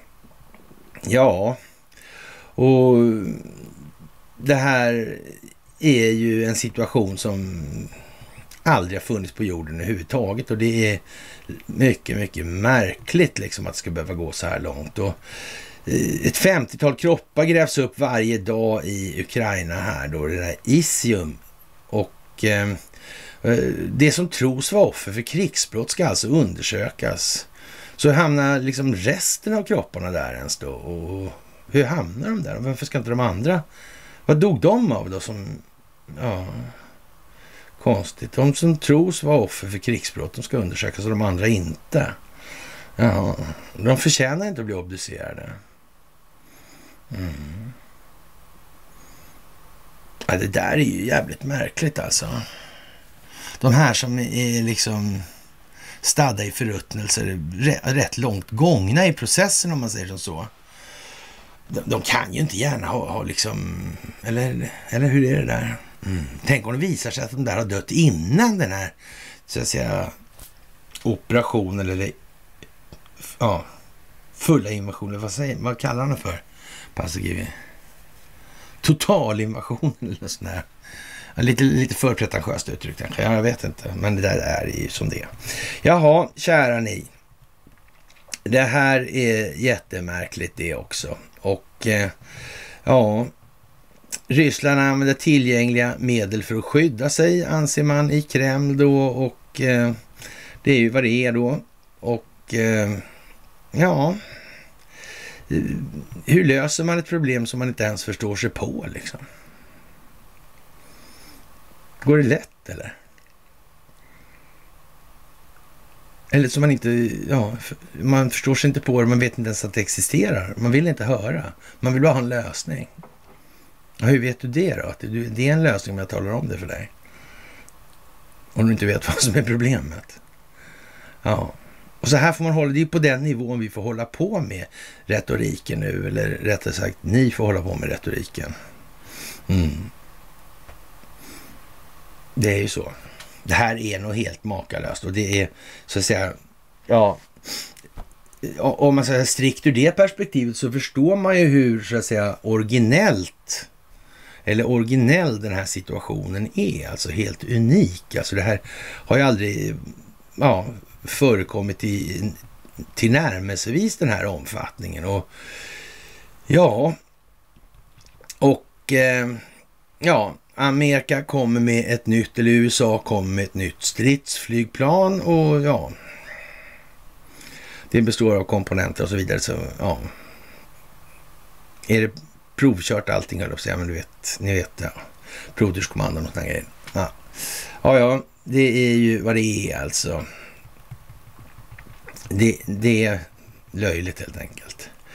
Jaha, och Eh, Japans premiärminister vill träffa Kim Jong-Un. Det var väl konstigt egentligen alltså.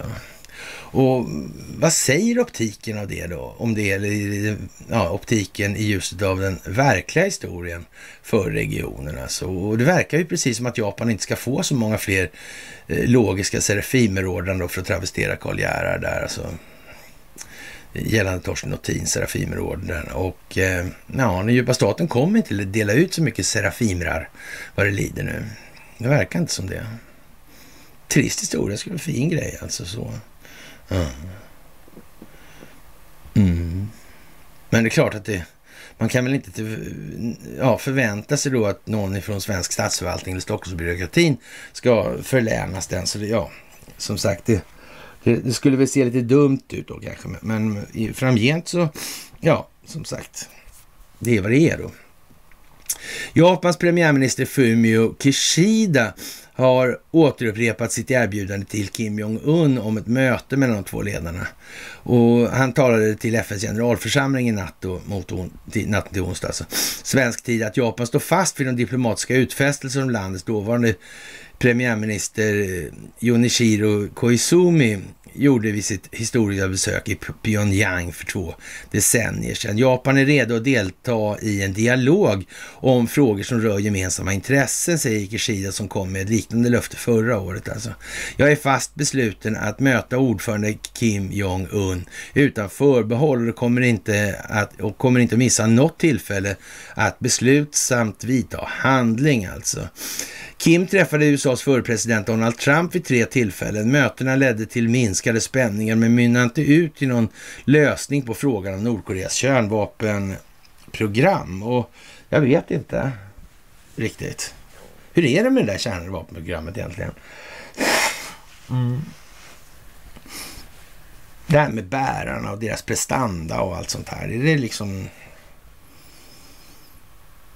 Eller hur är det där? Ja, konstigt. Japan är mycket nära allierad med USA, men relationen mellan Kim och Trump eh, skapade ett visst obehag i Tokyo eftersom regimen är en svuren fiende som kidnappade japanska medborgare på 70 och 80-talet i syfte att träna sina spioner. Nordkorea införde nyligen en lag där man deklarerar att man står redo att avfyra kärnvapen i förebyggande syfte, vilket många tagit som ett oroande tecken på att den slutna diktaturen kan komma att återuppta sina provskjutningar inom en snar framtid. Ja, vad är det här för någonting egentligen? Mm. Är det svårt det här nu?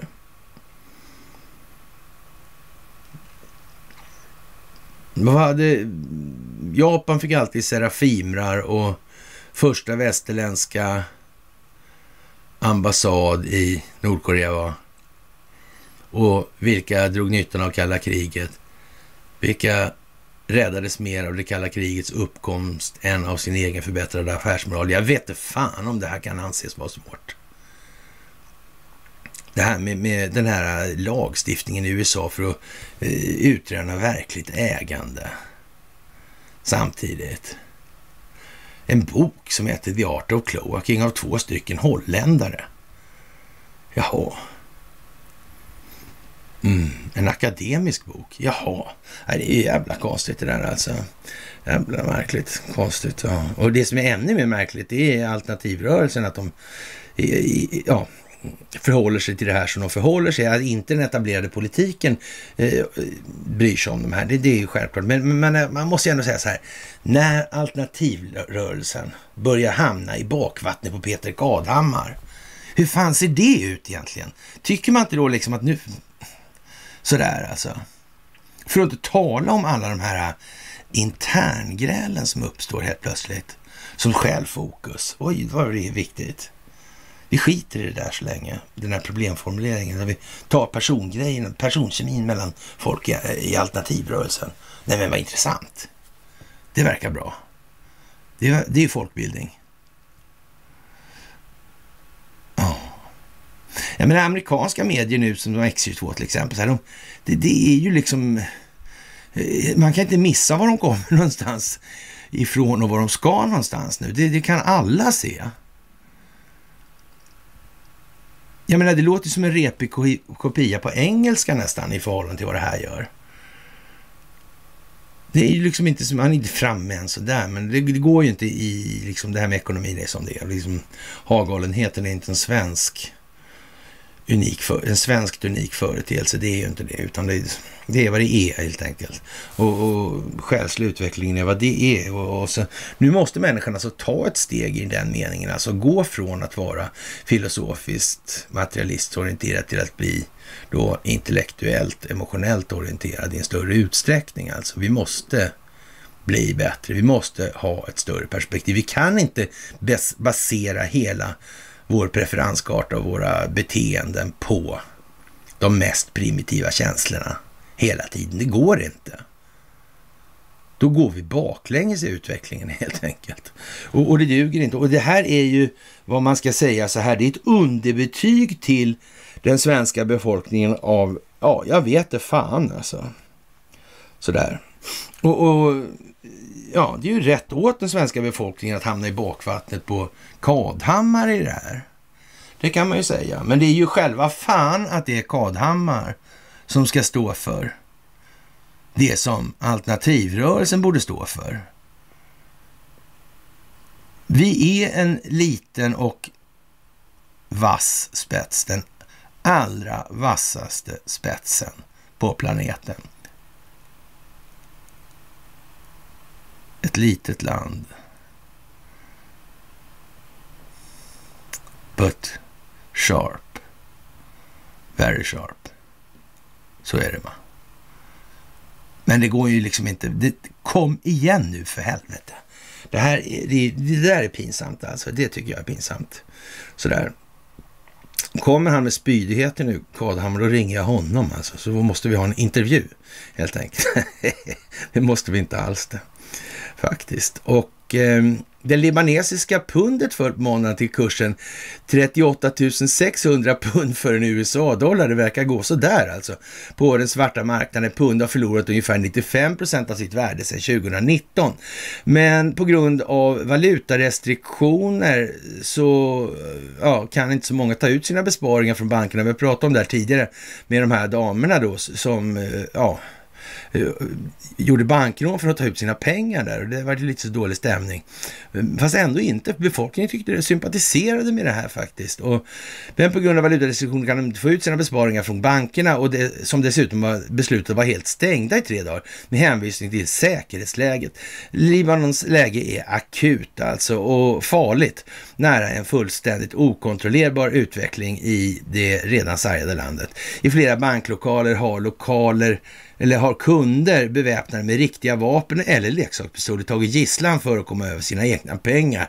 Ja, ofta får gisslantagarna folkligt stöd ovanpå det här. Jag vet inte om det här är kanske liksom en sån här upprullning eller ett inspel för att skapa en viss aversion mot banker. Det är ju som sagt bankerna som är problemet. Det är de enskilda bankerna som är problemet. Det är inte som X22, alltså eh, Private Owned Western Central Banks liksom. Det, ah, kom igen nu alltså. Och, och, och, men de, och dessutom är det ju så här, liksom, var kommer den här centralbankshistorien ifrån då liksom? Har vi hört något om det eller hur var det där? Ja men så. Ja, men, men man får ta det i delar alltså. Men det är ju som sagt, det är bankerna som är problemet, de privatägda bankerna. Och den här eh, vinstmaximeringsidén de lider av.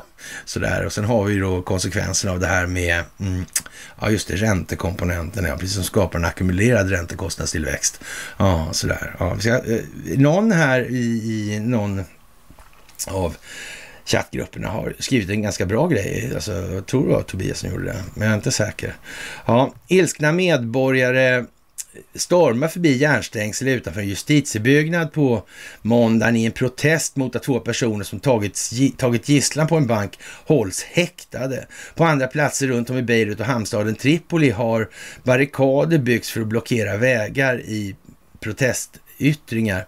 Ja, Korruptionen kombinerat med politiska beslut som att ta bort statliga subventioner på bland annat fossila bränslen anses ha bidragit till de upprörda stämningarna. Ja, det är plånboken som gäller. Alltså det är girigheten som förenar. Kan man ju säga att det, det behöver inte vara girigt, så det kan ju gälla överlevnaden också. Men det är ju själva fan att det ska behöva tas ner till den nivån innan människor reagerar och väljer att försöka börja ta ansvar för sig själva och därmed samhället.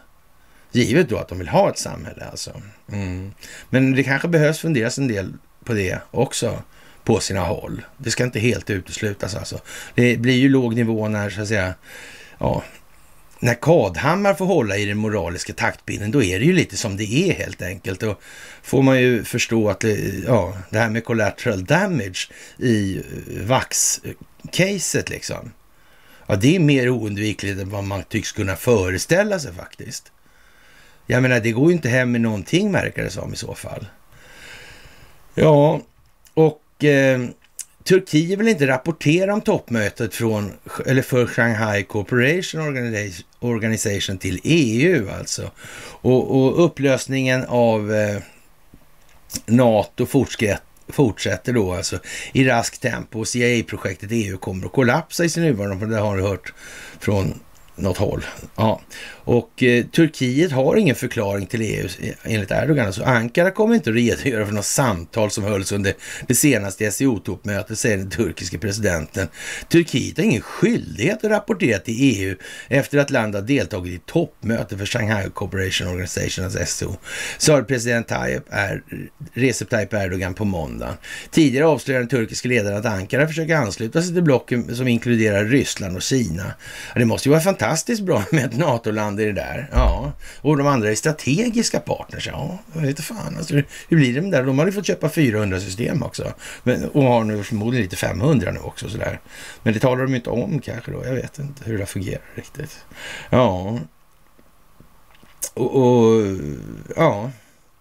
I ett tal till nyhetsbyrån PBS ombads Erdogan att kommentera Ankaras försök att gå med i organisationen med tanke på att dess medlemmar Kina, Ryssland och Iran anklagas för att bekänna sig till värderingar som uppenbarligen skiljer sig från det som har anammats av NATO och väst. Ja, den turkiske ledaren sa att han inte välja mellan öst och väst, även om han klagade på eh, att EU hittills har vägrat att släppa in Ankara i blocket. Alltså Europeiska unionen skulle hållas utanför i 52 år och, och det skulle inte släppa oss i närheten och, och sen skulle de säga varför pratar hon, han med det här landet eller det landet? Sa han och hänvisade till det faktum att Turkiet har försökt ansluta sig till blocket i årtionden utan framgång. Jag vet inte, vad ska de säga emot det där då eller? Hur är tanken? Eller är det planerat det här upplägget tro? Kan det vara det? Jag vet inte faktiskt. Det är omöjligt att veta. Jo, det är det. Sedan 2016 har förhandlingarna om denna fråga avstannat alltså. Där EU anklagar Ankara för kränkningar. Men det var väl det där Brexit också va? Ja, för, för just den där sämsta dagen i hans liv. Där var han arbets... Eh, ja, just det. Ja, ja, yrkesverksamma liv alltså. Ja. Eh, Ankara för kränkningar av mänskliga rättigheter och brister rättsstatsprincipen. Ja, i rättsstatsprincipen. Alltså Turkiet har förnekat de här påståendena. Medan vi är engagerade i dessa förhandlingar kommer vi inte att rapportera referera till Europeiska unionen vid den här tidpunkten, upprepar Erdogan och tillåter Ankara är villiga att föra samtal med alla länder i världen. Vilka jävla svin alltså. Det gäller ju att gadda ihop så här mot de som har eh, som man kan exploatera till exempel kinesisk arbetskraft och ryska naturresurser. Det, annars kan man ju inte fortsätta med det. Kanske Erdogan har hajat det där. Jag tror han vet lite om, om freden i Lausanne faktiskt. Mm, Osmanska rikets fall kanske. Det var, de fick en extra turk där va, i den svängen också. Fick de inte det? Där runt 20-talet, där 23 kanske så. Ja, det var fan inte först på 30 han blev helturk va? Nej, så var det. Men han var ju där innan också. Men han visste ingenting om den djupa staten alltså. Och det visste ju faktiskt, vad sa Erdogan? Den har alltid funnits i Turkiet. Jaha, ja, alltså, för fan ja. Det är den Devlet, ja just det, så var det kanske. Ja, ja, ja, ja. De där som gick ur där alltså.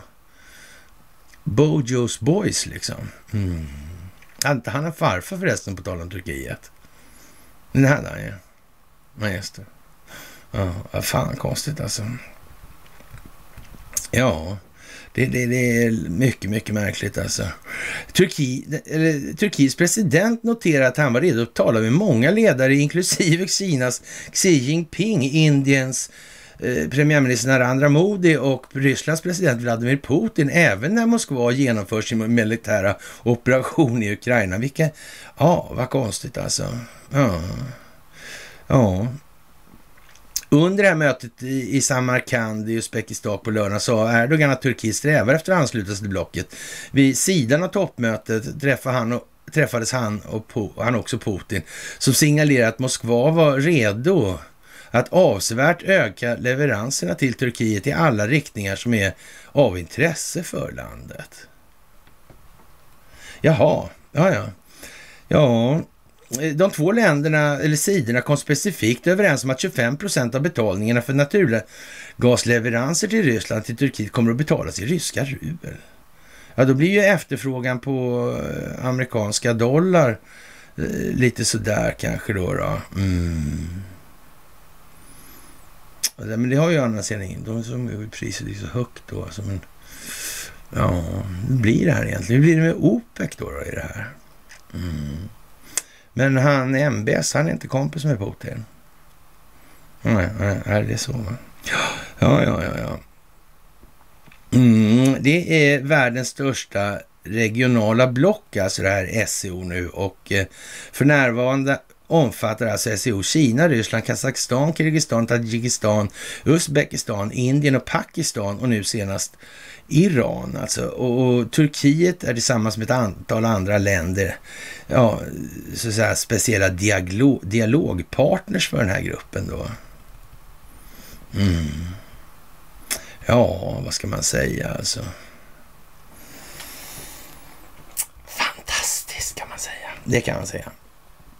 Jaha, och eh, att eh, jag vet inte. Han blev ju inte riksbankschef där då. Alltså, det vart han ju inte, Jens Stoltenberg, men, men jag vet inte egentligen. Alltså. NATO fördömer folkomröstningarna i Donbass och det är klart att eh, Jens Stoltenberg hävdar att skenröster inte har någon legitimitet och efterlyser mer stöd för Ukraina. Menar Jens då på allvar att de har valsedlar utan signatur, alltså, som finns verifierad där? Är det vad han menar? Eller vad fan menar han alltså? Det går väl att följa valet ändå, va? Det är väl spårbarhet? Det är ju det som är grejen. Om man har spårbarhet så kan man ju faktiskt säkerställa vad det här är för någonting. Det är därför de alla de här reglerna finns. Va? Menar du? Uh, vadå inte Sverige? Vi, har, vi har visst sånt. Jo.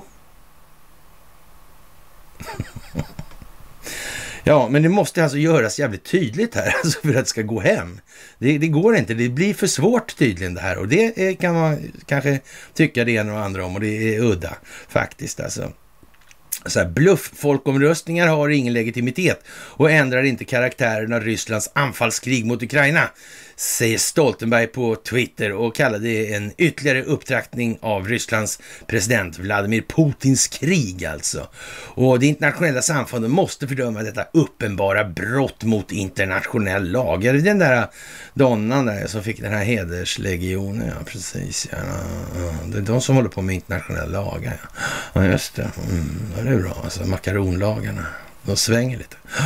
Att öka stödet till Ukraina, det är viktigt det, tycker Stoltenberg. Folkrepublikerna Lugansk, Luhansk och Donetsk kommer att hålla en omfattande eh, omröstning för enande med Ryssland den 23 till 27 september, sa deras ledare på tisdagsmorgonen. Rysk, ryskhållna territorierna i de närliggande regionerna Zaporizjzja och Cherson kommer också att rösta med start på fredag.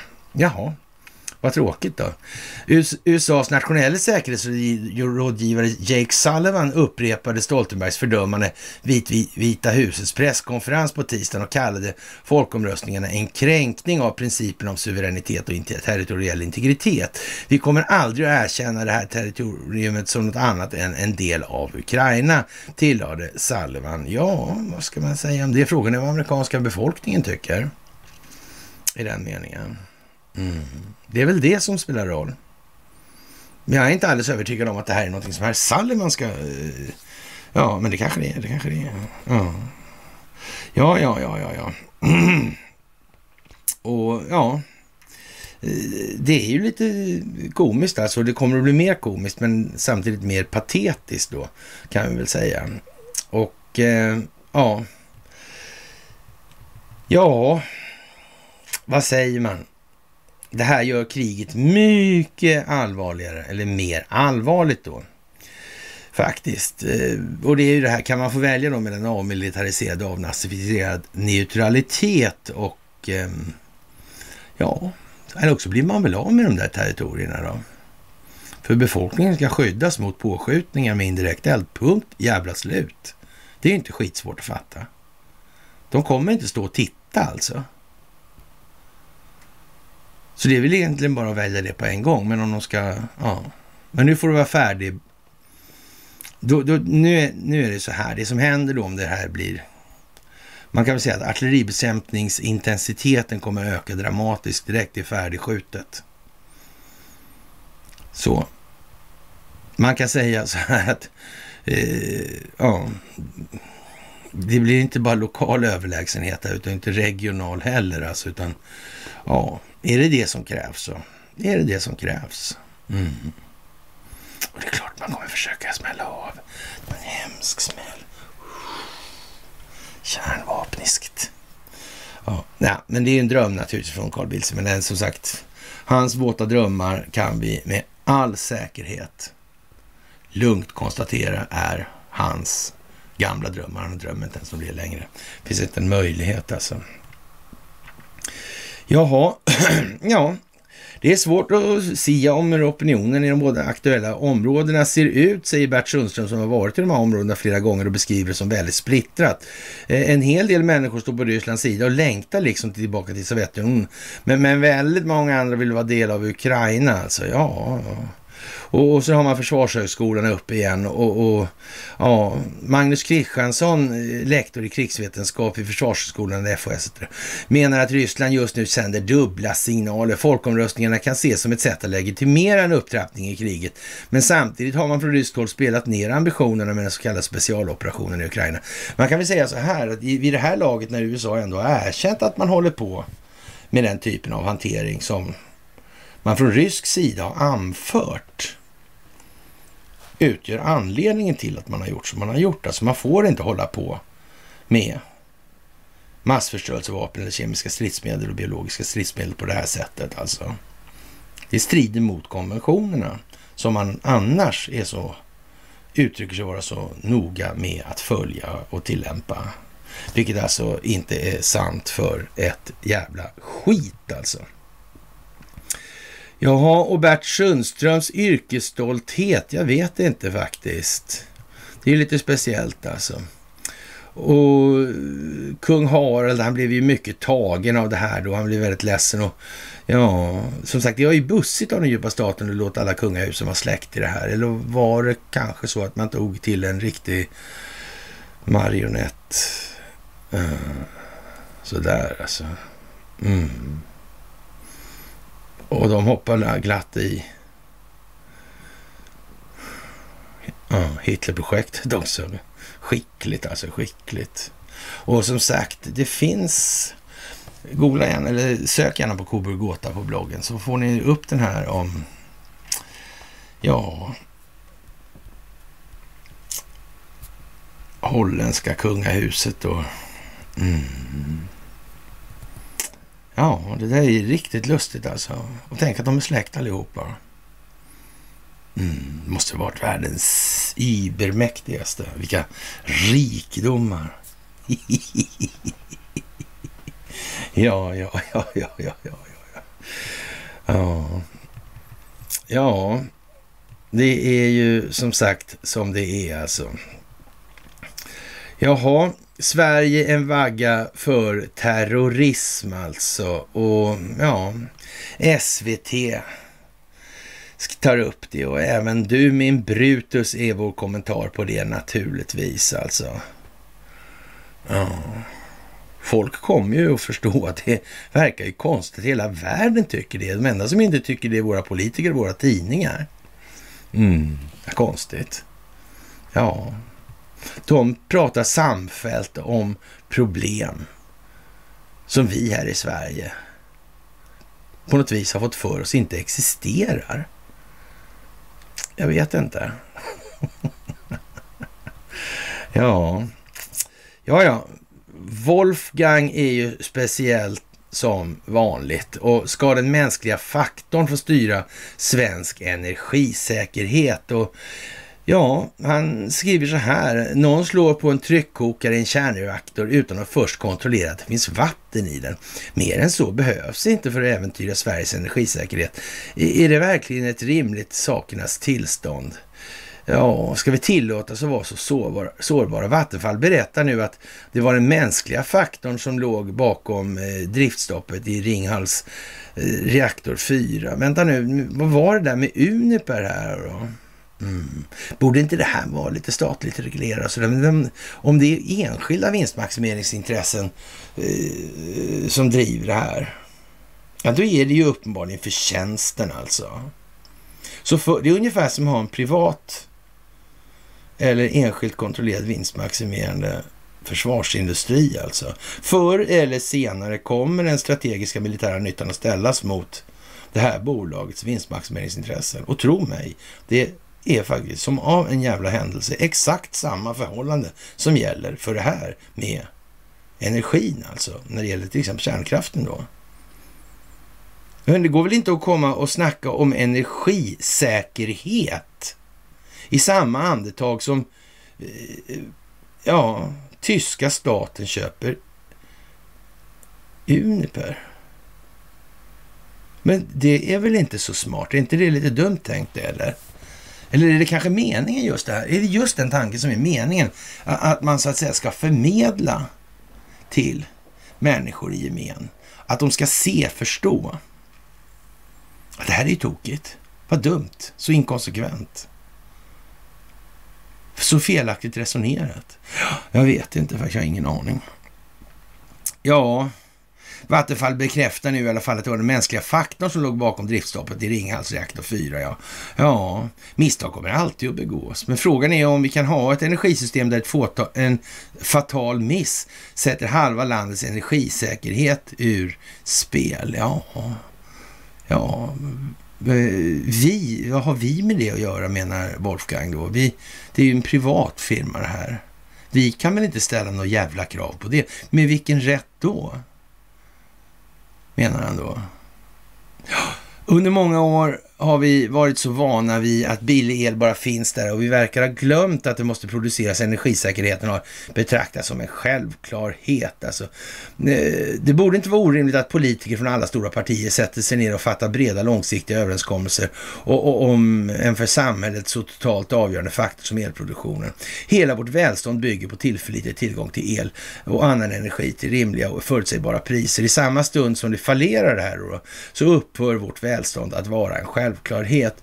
De senaste tio åren har politikerna låtit bli att ta det här ansvaret istället för att komma överens och peka ut en tydlig riktning för Sveriges energiförsörjning. Så har de käbblat inbördes och slutat ta ansvar för helheten och håller på med polarisering och sånt trams som Wolfgang själv aldrig skulle göra faktiskt. Han har aldrig kommit på den grejen alltså. Eh, eller så, kanske. Mm. Extra märkligt när vi står inför en gigantisk klimatomställning dessutom. Jävlar också, där kom den alltså. Där elbehovet ökar kraftigt alltså. Jaha, det blir varmare så det ökar då ja. ja. Vissa brukar hävda att Sverige producerar mer energi än vi behöver. Det är en sanning som ofta gäller vår, sommar och höst. Det, det är skälet till att Sverige just nu är Europas största nettoexportör av el alltså. Okej. Okay. Mm. Ja, ja. Men kalla vinterdagar ser andra och vi exporterar det för att bolagen inte vill det de vill inte känna. Alltså. Så alltså. Ja, eh, jag vet inte. Men kalla vinterdagar ser alltså annorlunda ut. Vi är ofta beroende av att importera energi då alltså. Sett på ett helt år producerar vi mer än vad vi behöver, men det hjälper inte om, om vi har brist när vi behöver el och värme som mest alltså. Dessutom har vi fuskat när det gäller utbyggnaden av kapaciteten för att föra el från norra Sverige till, där det mesta av vind och vattenkraften finns, till den södra halvan av landet där förbrukningen är som störst alltså. Ansvariga Svenska kraftnät skyller på att det tar tid att hantera alla överklaganden från markägare som inte vill ha ledningar på sin mark. Var finns då den starka staten som kan gå in och hävda att det handlar om ett riksintresse och snabba på processen? Ja, jag vet inte. Är det privatägt så är inte jag riktigt på det klara med hur det där går till alltså. Men det kanske Wolfgang är då, men han tar inte hänsyn till det i alla fall. Detsamma gäller när försvaret stoppar viktig havsbaserad vindkraft med luddigt hänvisat till rikets säkerhet. Att ha tillräcklig tillgång på energi är något och frågan om rikets säkerhet. Ja, försvaret kanske kan räkna ut, vad vet jag, att eh, om det är så angeläget som Wolfgang säger så är det första man nyper till då i sådana fall. I händelse av örlog eller annan ofredsverksamhet. Är det svårt att förstå det här tro? Om man lamslår, lamslår landet sådär. Ja. Det, det ringer, jag ska, eller vänta nu här. Wolfgang ska försvara den här havsbaserade vindkraften. Mm. Ja, men det blir ganska dyrt tror jag va? Hur var det med de där eh, torpederna som gick ganska snabbt? Hur är det med räckvidder och så här skjutavstånd? Men Wolfgang tänkte på det eller? Tänkte han inte på det eller gör han någonting han måste göra som han inte vill göra nu? Ja, det kan man ju fundera på faktiskt. Det kan man ju fundera. Nu står vi där med rumpan bar. Myndigheterna varnar för att elen i vinter kan stängas av för hushåll och företag några timmar per dag och, och vi har inte så det räcker alltså, om vi inte har det alltså. Alltså, vi kan göra på, satsa på en snabb energieffektivisering, spara så mycket det går och be för en mild vinter. Vladimir Putin och hans krig i Ukraina bär en stor skuld till de höga elpriserna. Det, var är vår lille skutt liksom nästan här. Mm, mm, mm. Ja, men det är våra egna politiker och myndigheter som är skyldiga till den bristande energisäkerheten. Ja, precis. Men den svenska befolkningen som har röstat fram de här har ingenting med det här att göra. De har inte byggt ett tillräckligt robust system. Det är alltid någon annans fel. Det är ingen Aldrig vårt eget alltså. Mm. Sverige är inte ensamt om den här synden. I Sydafrika, Afrikas största industrination, räcker energin inte till. Det har ingenting med Putins krig att göra. Det uppges handla om inkompetenta och korrupta politiker och tjänstemän. Det skulle man kunna säga eh, är en bra skrivning av eh, av Wolfgang alltså. I Sydafrika, Afrikas största industrination, ja, räcker energin inte till. Det, här, det har ingenting att göra med Putins krig alltså. Det uppges handla om inkompetenta, korrupta politiker och tjänstemän. Alltså, det kan också vara en anledning till det här alltså. Att man har alltså inkompetenta, korrupta, korrupta politiker och tjänstemän. Det kan också vara e-, en anledning uppenbarligen till det här. Men, men vänta nu, kan vi tänka så här då, då kanske att eh, skulle det kunna vara, eh, måste det vara det ena eller andra liksom? Det, det, alltså så. Skulle det inte kunna vara lite av det ena och, och en del av det andra? Eller tvärtom? Alltså förhållande, det vet man men alltså skulle det kunna vara så? Jag är inte säker. Ja, men så då. Ja, eh, faktiskt alltså. Vanliga medborgare och företag får, får finna sig i att elen stängs av 4-6 timmar per dag för att elnätet inte ska kollapsa. Mm. Skälet är att landet är helt beroende av ålderstigna och dåligt underhållna kolkraftverk som råkar ut för ständiga avbrott. Staten har varit sen i att investera i nya energikällor och ett bättre nät. Ja, man kan ju säga så här att varför skulle de göra det? Om det finns privata intressen som är intresserade av att, att, att försämra situationen för alla andra. Ja, för att tjäna på det själva. Eller? Inte? Ja, det vet jag inte. Kanske sådär. Ja, det är ju märkligt alltså. Just nu är det så illa att landets president Cyril Ramaphosa tvingas korta ner en resa till FNs generalförsamlings stora möte i New York för att resa hem och hitta lösningar på krisen. Alltså.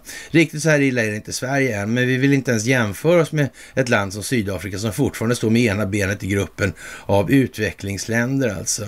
Men, men de köper ju JAS-plan, herregud. Ja, det har de råd med. Mm.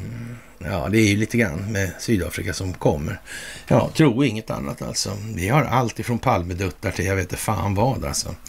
Ja, Antalet vårdplatser på svenska sjukhus håller inte jämn takt med den ökande befolkningen. Ständiga överläggningar med försämrad patientsäkerhet är resultatet på samma sätt som man inom sjukvården måste ha en del luft för att bristsituationer inte ska uppstå borde det vara en självklarhet för Sverige att ha reserver när en kärnreaktor eller två fallerar. Kostar det pengar? Ja, förmodligen. Även om vi i nuläget alltid kan exportera vårt överskott till övriga Europa. Kostnaden för energibrist är garanterat högre i form av förlorad industriproduktion, ökad arbetslöshet och minskade skatteintäkter för staten. Uh, vänta nu, vi kan exportera vårt överskott och det, det överskottet som de här eh, enskilt kontrollerade vinstmaximerande företagen producerar det här överskottet, alltså det, det här. Det tillfaller staten då alltså? Eller? Hur är det där? Mm. Ja, ja, ja. Det där är mycket märkligt alltså. Produktionskostnaderna har gått upp. Det är ingen annan som tjänar på det. Nej, alltså den hade inte gått upp. Nej, nej. Okej, alltså prisbildningsmekanismen är lite konstig alltså. Ja, jag vet inte det där. Jag, jag förstår inte det där alltså. Det där är ju så udda. Så det är inte klokt alltså. Ja, vi, vi, får hoppas att någon tar tag i det där som vi, ja, så vi slipper engagera oss helt enkelt. Det är det bästa alltså. Mm, det här med upplysning är jobbigt alltså. Det, det, det, det är någon, ja, sådär alltså. Faktiskt alltså. Och eh, ja, George Soros vet jag inte om vi ska liksom eh, lägga så mycket energi på, men jag tror vi har gjort rätt mycket om det där alltså. Ja. Har man inte fattat fattat det där än, så där med kvantumfonder. Och där kan man säga att de här Makiti-kartorna, det är ju vad det är alltså. Mm. Vad man får ihop alltihopa rakt av alltså. Och, och, det är klart att det blev lite mycket om, om, vi snackade om det bak vid 2007 där. Det var väl inte så att i 10 var väl inte någon höjdare heller riktigt sådär. Och, sådär. Så det, det är ju liksom det nu. Faktiskt. Jaha, och eh, ja, vi får väl se hur det går i den här omröstningen helt enkelt. Och eh, Magdalena Andersson fick ett fint globalistpris. Jag är inte säker på det. Atlantic Council, Atlantrådet alltså. Och det är ju någonting som sitter ihop stenhårt med Brookings och det här. Det är ju rena jävla eh, lalala-grejen alltså. Mm, jag vet inte. Ja, hon fick det för att hon har gjort så fina insatser för att få in Sverige i NATO alltså. Mm. Ja, eh, vad ska man säga? Alltså, det, det är Atlantic Council, då, alltså den här lobbyorganisationen i Washington, som beskriver sig som en oberoende tankesmedja, skriver i sin motivering att Sveriges och Finlands historiska beslut att ansöka om NATO-medlemskap bidrar till alliansens säkerhet och förmågor samt till ökad transatlantisk enighet alltså. Ja, och den här ceremonin skedde i måndags alltså. Och den norska utrikesministern Anniken Huitfeldt, Huitfeldt överlämna utmärkelsen till statsminister Magdalena Andersson och Finlands president Sauli Niinistö som representeras på plats av utrikesminister Ann Linde respektive Finlands utrikesminister Pekka Haavisto. Ja, mm, ja. Utmärkelsen delas ut varje år till personer som verkat för ett ökat transatlantiskt samarbete, vilket enligt regeringen spelar en viktig roll för, ett ök för ökad frihet, fred och välstånd för alla människor i Europa och Nordamerika. Jag vet inte vad vi ska säga faktiskt. Det är ju som det är, helt enkelt. Mycket udda, helt enkelt, i det här läget. Mm. Och eh, ja, som sagt, det här med nationella säkerhetshot då. Mm. I USA. Tänk att ingen har sagt något om Ericsson som ändå måste vara inblandad i det här rent telekominfrastrukturellt. Mm. Vad beror det på egentligen? Samtidigt ökar antalet övningar och omfattning på övningarna dramatiskt i Sverige med amerikansk militär personal. Tänker de invadera Ryssland? Mm. Men av något speciellt skäl så tänker amerikanska mödrar att Battleground Sweden liksom. ja, jag vet inte. Men, men, det måste köras den vägen tydligen. Det är liksom inte mycket att be för alltså. Faktiskt. Och eh, ja, vad ska vi säga? Ty Tyskland, jag vill säga, men eh, spelar ju rätt stor, de har rätt mycket turkar också i det här och Tysklands roll är, den är nog lite konstig egentligen alltså. Mm. Det är ju lite märkligt det där med Tyskland och Tysklands roll historiskt sett också. Faktiskt. Det är märkligt ända bak till första världskriget alltså. Ja, det där är ju speciellt alltså. Och, och prins Charles nu är kung Charles då. Mm. Ja, det där verkar också lite sådär riggat. Alltså. Vad kan det bli av det där? Kommer han undan sina historiska gärningar här? Alltså, åh, det här med Jimmy Savile. Är det bra grejer att hålla på med? Eller håller på med? Finns det kopplingar till Epstein? Mm. Kanske finns det kopplingar till... Oh. Kanske Maxwell är på tapeten där alltså. Kan Robert Maxwell, alltså Ghislaine Maxwells farsa och den här uh, Jimmy kan de vara... Men vänta. Det måste de ju ha varit. Ja, men just det. Jaha, så lustigt. Ja. Och, och, och, och kung Charles som... Ja, han använde ju eh, Jimpan till, inte Jimmy också, utan Jimmy Savile, uh, som mediestrateg, rent utav. Ja, så märkligt. Undrar varför då? Ja, ja. Ja, ja, ja, ja, ja, ja. Ja, det här är ju eh, en trist historia, alltså, det måste man ju säga. Överlag alltså. Och vi är på väg in i en storm, men vem är det egentligen som kör här alltså? Och, och det får man ju fråga sig. Alltså när Ingves då eh, levererar en rekordhöjning. Ja. Hur är det med den här mekaniska kopplingen mellan bankernas styrränta och bankernas skapande av lån. Vilket kommer först? Var börjar processen någonstans? Ringer de Riksbanken och frågar så här, vi tänkte ta ett lån här, går det bra med avstämningen? Mm. Det där är konstigt alltså. Det är konstigt det där. Du kommer att få bli en hel del funderande för väldigt många i det här. Och ni, det, ni som tycker att det här är så jävla jobbigt och tråkigt, jag skiter i det där. Och det, det kan vi säga så här, inte minst i våra egna led alltså. Det räcker inte bara, man måste förstå varför helt enkelt för att kunna föra den här typen av resonemang på saklig grund. För ni kan vara helt säker på att vartenda jävla troll i de sammanhangen vet vad det handlar om. Och det har jag sett på, eller sett flera exempel på när det blir tokigt. Liksom, ah, kan ni komma in och hjälpa mig? Eller oj, jag gjorde visst bort mig så sen är det knäpptyst liksom. Mm. Och så uppmanar man vederbörande, nu får du svara på det här. Liksom, svara, du kan inte liksom skriva saker och dra in andra i diskussioner. Svara på det här nu. Du vet vad, liksom, hur man gör för att ta reda på det. Du vet hur man ska leta, om inte annat. Men begär inte att andra, skapa inte arbete åt andra. Gör själv. Förbättra dig själv, utveckla dig själv i det. Mm. Det där är mycket tråkigt alltså. Jaha, och eh, den svenska räntehöjningen pekas ut alltså som ansvarig för att Wall Street går baklänges alltså. Och, och det får man väl säga så här, det, det är ju nästan eh, lite udda. Så idag väntas då den amerikanska centralbanken Federal Reserve lämna sitt räntebesked. Och, och det vore ju för jävla... Och, och naturligtvis, mm, Åsa-Nisse har ju suttit på regleringspositionen eh, bra länge också. Han är ju vad han är i de här sammanhangen. Det ska man ha klart för sig. Mm. Så är det ju. Så ja, det blir pinsamt nu hur den går egentligen alltså. Mm. Antingen styr vi eller också är Åsa-Nisse idéer helt åt helvete. Det är ju Ja. ja, vi får väl se. Han ska inte fortsätta ändå. Så, så är det ju.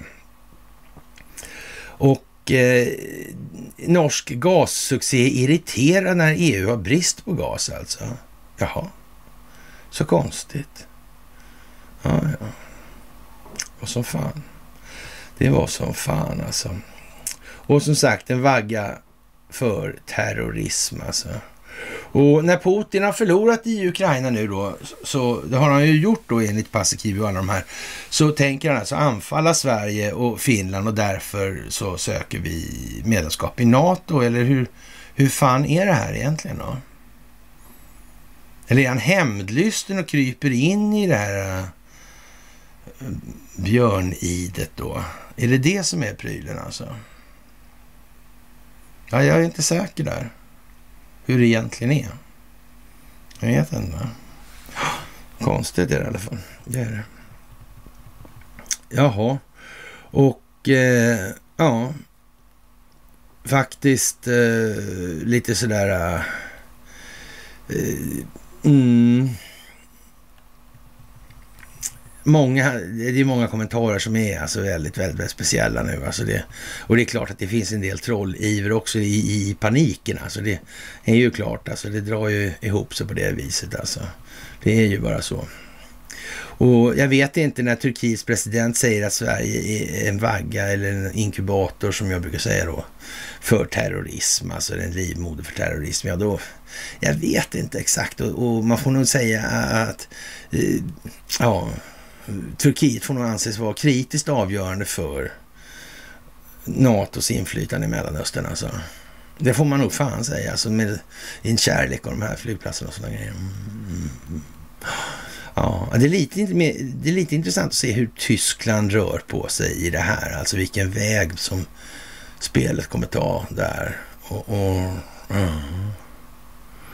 Men det måste nog vara någon form av eh, förvaltning över Ukraina i alla fall en stund. Alltså lite internationell närvarokontroll, alltså eller kontrollnärvaro. Det, det verkar svårt att undvika tycker jag. Faktiskt. Ja, vaccin är inte svaret på allt, står det i Svenska Dagbladet. Jag vet inte hur, hur de menar då alltså. Det verkar konstigt. De måste ha fel helt enkelt. Och nu för att göra det här ännu bättre alltså, så har man då eh, ja, infört en ny eh, religion, alltså krislam. Det där verkar ju liksom... Ja, det får vi ta för eh, med en gruv... Ja, en gruva salt helt enkelt. Sådär. Men om inte annat så borde det ju få en och annan så att säga ja, väckelseentusiast och, och, och ja, inte i någon form av uppvarna till verklighetens mening där, utan då i närmast religiös mening. Men det inte heller den här gången sagt att religion behöver vara dåligt som handledning. Det finns jättemånga människor som naturligtvis har svårt att sätta manus för sig själva och, och som tycker att de primitiva drifterna är rätt så fantastiska att låta verka vägledande i alla och ja, alla tänkbara och otänkbara situationer och tillfällen. Alltså, ja, det, så kan man ju säga. Jaha, och eh, ja, Ryssland tajtar till då eh, straffskalorna för brott begångna under krigsförhållanden eller krig då. Mm. Det, det, får man väl säga ändå. Alltså. Och varför har inte Ukraina förklarat Ryssland krig i det här? Hur kommer det sig? Vad beror det på? mm, hur kommer det sig? Det verkar vara en helt självklar grej alltså. De är invaderade av Ryssland, säger de. Mm. Varför känns det inte lite grann som att någon jurist borde liksom ta tag i den här frågan och reda ut vad som är vad? Var är krigsförklaringen? Mm. Eller är det så att den här en krigsförklarande part måste ha rättslig grund och därför kommer ingen krigsförklaring? Mm. Ah, ja, de har inget case alltså. Men det hade ju inte Donald Trump heller. Nej, Nej just det. Mm. Ja, ja. ja, vi får ju se som sagt alltså. Faktiskt. ja, det är ju udda helt enkelt. Tyskland eh, är nära nationalisering av Fortum-ägda Uniper alltså. Ja, ja. det är ju speciellt det här får man säga. Det, det är väl ingen snack i alla fall. Och eh, nu går det väl rakt ut för stupet för grindvakten Cervenka kan man väl säga.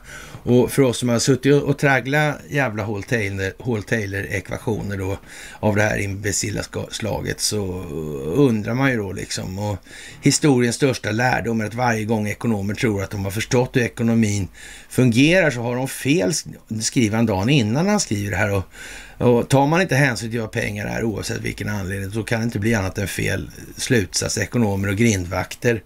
Ja, vad ska vi säga om det här egentligen?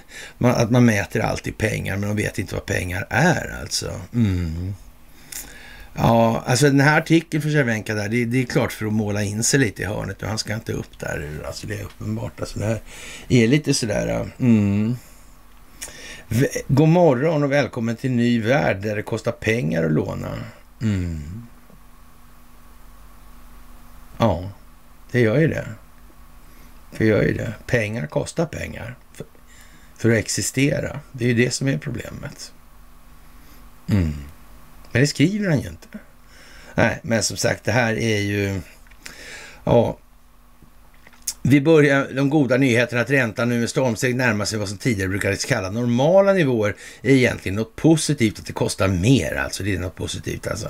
Ja, och, och det här med att pengar, mer pengar försvinner in i de finansiella masugnarna här alltså. Det vill säga Hagalenhetens tempel som i dagligt tal kallas banker.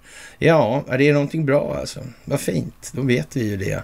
Och som sagt, eh, ja, eh, ja, hur, hur, exakt det går till alltså eh, när det här eh, blir på det här viset, alltså prishöjningar egentligen alltså, ja. Nu, nu höjer alltså Riksbanken räntan för att sänka priset på energi och, och drivmedel då, alltså, om vi ska tolka det här. Och, och matvaror. Det, det, är liksom det som är. Det var prisstabilitet var det väl det handlade om. Så först, nu blev det en prisuppgång först då på något, av någon anledning. Så vi inte kan. Det är den här säcken igen, man vet. Ja, den där liksom, det är någonting som är där i en maskin eller en apparat eller som vi inte riktigt förstår. Den, det kommer in någonting i säcken i en hål, så sitter det, så kommer det ut någonting sådär. Men vi vet inte riktigt vad det är som händer i den här på något vis. Vi konstaterar då att ja, men vi, det här händer i säcken, skriker alla politiker och, och bankfanatiker sådär. Mm. Jaha, säger befolkningen. Ja, det låter bra liksom. Ja, och så är det nog. Ja, ja eh, förstår inte riktigt varför, men, men ja, det, säger de det så måste det ju vara så. Ja, han har Sjökvist-kepsen nummer åtta på sig nu förresten. Ja. Ja, ja, ja, ja, ja. Ja, jag vet inte hur mycket man kan hålla på och tramsa med det där, men det som sagt, eh, ja, det är myndighetens eh, ansvar för det läge som svensk ekonomi befinner sig i, inklusive att banken tillåtit mängder, mängden pengar i omlopp och öka dramatiskt de senaste två åren sannolikt har det bidragit till inflationen. Jag vet inte det här med att pengar skapas och som enskilt kontrollerad räntebelastad skuld under vinstmaximeringsintressen. Alltså. Att det liksom på något vis skapar ett tillväxtkrav, jag vet inte. Och, och det här tillväxtkravet, det måste väl ändå rimligtvis växa om man måste låna pengar, mer pengar, för att betala för det tidigare i en all, för alltid växande omfattning? Eller har jag fattat fel här nu? Eller hur, hur är det här egentligen? Ja, det där är konstigt. Mm. Alltså, så det verkar ju konstigt att eh, man måste nästan säga så här att eh, kan det vara så här att man inte låter mängden pengar, alltså mängden skulder i omlopp öka om det finns ett tillväxtkrav? Va? Men det var ju prisstabilitet just, som var målet för eh, centralbanken eller Riksbanken. Nej, vi måste ha missförstått det här totalt alltså. Du måste förtydliga det där, grindvakten. Ja, det gick ju inte så bra. Jag sa ju det på någon film där med honom då, äh, inte, eller vi diskuterade efter någon för, föredrag han hade haft, så jag var inte så här skitimponerad. Alltså jag sa, blir det dålig stämning på redaktionen om man säger som det är? Alltså när man, det är liksom bara mer och mer finansiell ingenjörskonst för att dölja vad det här egentligen är för någonting till sin funktion, natur och karaktär. Mm. Ja, ska, ja, ska jag försöka skriva mummel, mummel, och så dröp han av det och sådär. Ja, det är lite sådär eh, eljest helt enkelt faktiskt. Det får man nog säga. Och Vattenfall, vattenkraft på högvarv kan lindra elkris men oklart hur elpriset påverkas alltså. Ja, om elpriset, eh, och, och, om eh, elkraften exporteras. Ja, då är det, ja, jag vet inte. Hur det där liksom blir. Eller vet jag det? Kan man räkna ut det kanske? Tänka till här nu. Mm. Ja, man tror man kan det. Faktiskt. Mm. Jag tror det är helt säkert att man de flesta klarar av att räkna ut det. Alltså. Ja. Jaha, och man överklagar alltså valet på Lunda långa köer. Det är bara i Sverige där är man ändå sådär äh, check med köer och så. Det, det är ju liksom inget mer att ja, diskutera egentligen. Och eh, Moskva presenterade tidigare bevis för att ryska militärerna hittat saker i Ukraina när det gäller biolaboratorier och har beslagtagits då under den här särskilda operationen i grannlandet. Alltså dokumenten antyder att de här labben som finansieras av Washington arbetade med farliga patogener och allt det här som man har påstått då att man har bedrivit verksamhet i Ukraina från den djupa statens sida. Det finns faktiskt alltså, fan också skit också. Fast det inte är så mycket, sa USA då. Aha, nej. Hur lite då då? Aha. Ja, ja, ja. Men som sagt, det här med eh, getosten, alltså megakeso där. Bert Sundström alltså. Han får väl intyga så kanske det blir, ja. I Sveriges Radio säger man så här, om det blir knapert, ring banken och slipp amortera. Det börjar väl liksom bli tydligt nu vad det här handlar om. Mm. Det börjar bli tydligt vad det här handlar om. Mm. Det är så, faktiskt. Och, och, förstår man inte det, då får man tänka mer alltså. Och tysk kärnkraftverk stängs efter misstänkt läckage. Och det blir perfekt då att man tar över några svenska faktiskt. Det är skitbra ju faktiskt. Och ja, någon röst åt Margaretas demente man där. Och det här handlar ju naturligtvis om ett uh, Attendo-bolag alltså. Vilken börs är de noterade på förresten? Mm. Ja, det är ju så liksom. Ja, spelar det någon roll för dem det här med kursvärde och sådär? Då. Mm. Kan man manipulera sådana här kursvärden? Kan den som ägde mar äger marknadsplatsen hålla på med sån verksamhet? Det är omöjligt, ja. Precis. Det finns finansinspektion för det. va? Erik Thedéen som ska bli riksbankschef. Ja, men det är sant. Det är sant, ja. Och som sagt, om Q är en militär del av en amerikansk stingoperation som utgör grund för det här globala folkningsprojektet, var fan befinner vi oss då någonstans med hänsyn taget till hur vi har gått igenom idag? Vad kan det här vara för någonting? Jag har ingen aning faktiskt. Jag vet helt enkelt inte. Och med det så kan vi konstatera att eh, vi vet en jävla massa saker alltså. Om vi slutar vara sarkastiska och spydiga. Men eh, ja, och för att toppa det här så slipper då Riksbanken lämna ut handlingar om jävsutredningen och Nisse Pisse och, och de här höll på med insideraffärer, höll jag på att säga, som det skulle fattas Jag vet inte. Hur tydligt ska det här behöva bli? Eh, ska, krävs det då att en amerikansk militär ställer sig upp och säger så här. Vi har nu ockuperat det här landet sedan en lång tid tillbaka och nu gäller följande. Är det vad som krävs för att folk ska se det här för vad det är? Ja, jag vet inte faktiskt exakt vad det är som krävs. Men, men, någon som vet kanske kan upplysa om det, så blir ju det någonting till ledning och vidare upplysning i det sammanhanget naturligtvis. Och ja, och det här byggde naturligtvis på att eh, eh man hade utsett rätt utredande part som inte hade bäring på huvudfrågan alltså. Och inte ens det, det här med svenska oberoende utredningar tycks ha trängt igenom i någon särskilt påtaglig omfattning alltså. Men, men, men, men, det är som det är alltså. Och eh, ja, vad fan ska vi säga egentligen alltså? Ja, det här med nyckelvittne liksom i det här med Stildostian, alltså ja, konfirmerar att han var betald av FBI i flera år. Men det här hjälper ju inte ännu alltså.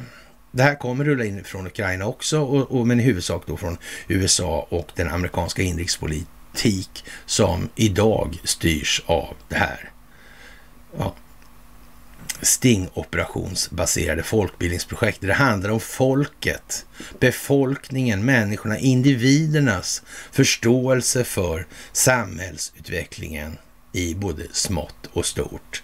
Och det är ju liksom eh, lite sådär eh, tragiskt, naturligtvis, det är det ju. Men, men, samtidigt så, ja, det måste ske alltså. Det måste till, det måste vara helt enkelt. För att människor ska känna en upplevelse, alltså sina och värderingar. Det måste bli lite förskjutningar. Och vi kan bara mala på. Och det här går naturligtvis jättebra. Det kommer att bli jättebra, fantastiskt. Men det är ju häpnadsväckande hur tätt det kan bli utan att folk faktiskt ser det överhuvudtaget. Faktiskt. Med det, kära vänner, så tackar vi för dagens visade intressen och som vanligt det största av tack för allt ni gör. Ni är helt fantastiska och så att säga, Sverige är ett litet land, men vast. Väldigt vast. Och ni är de vassaste. Och med det så önskar jag er en trevlig piglördagskväll så hörs vi senast på fredag. Hej!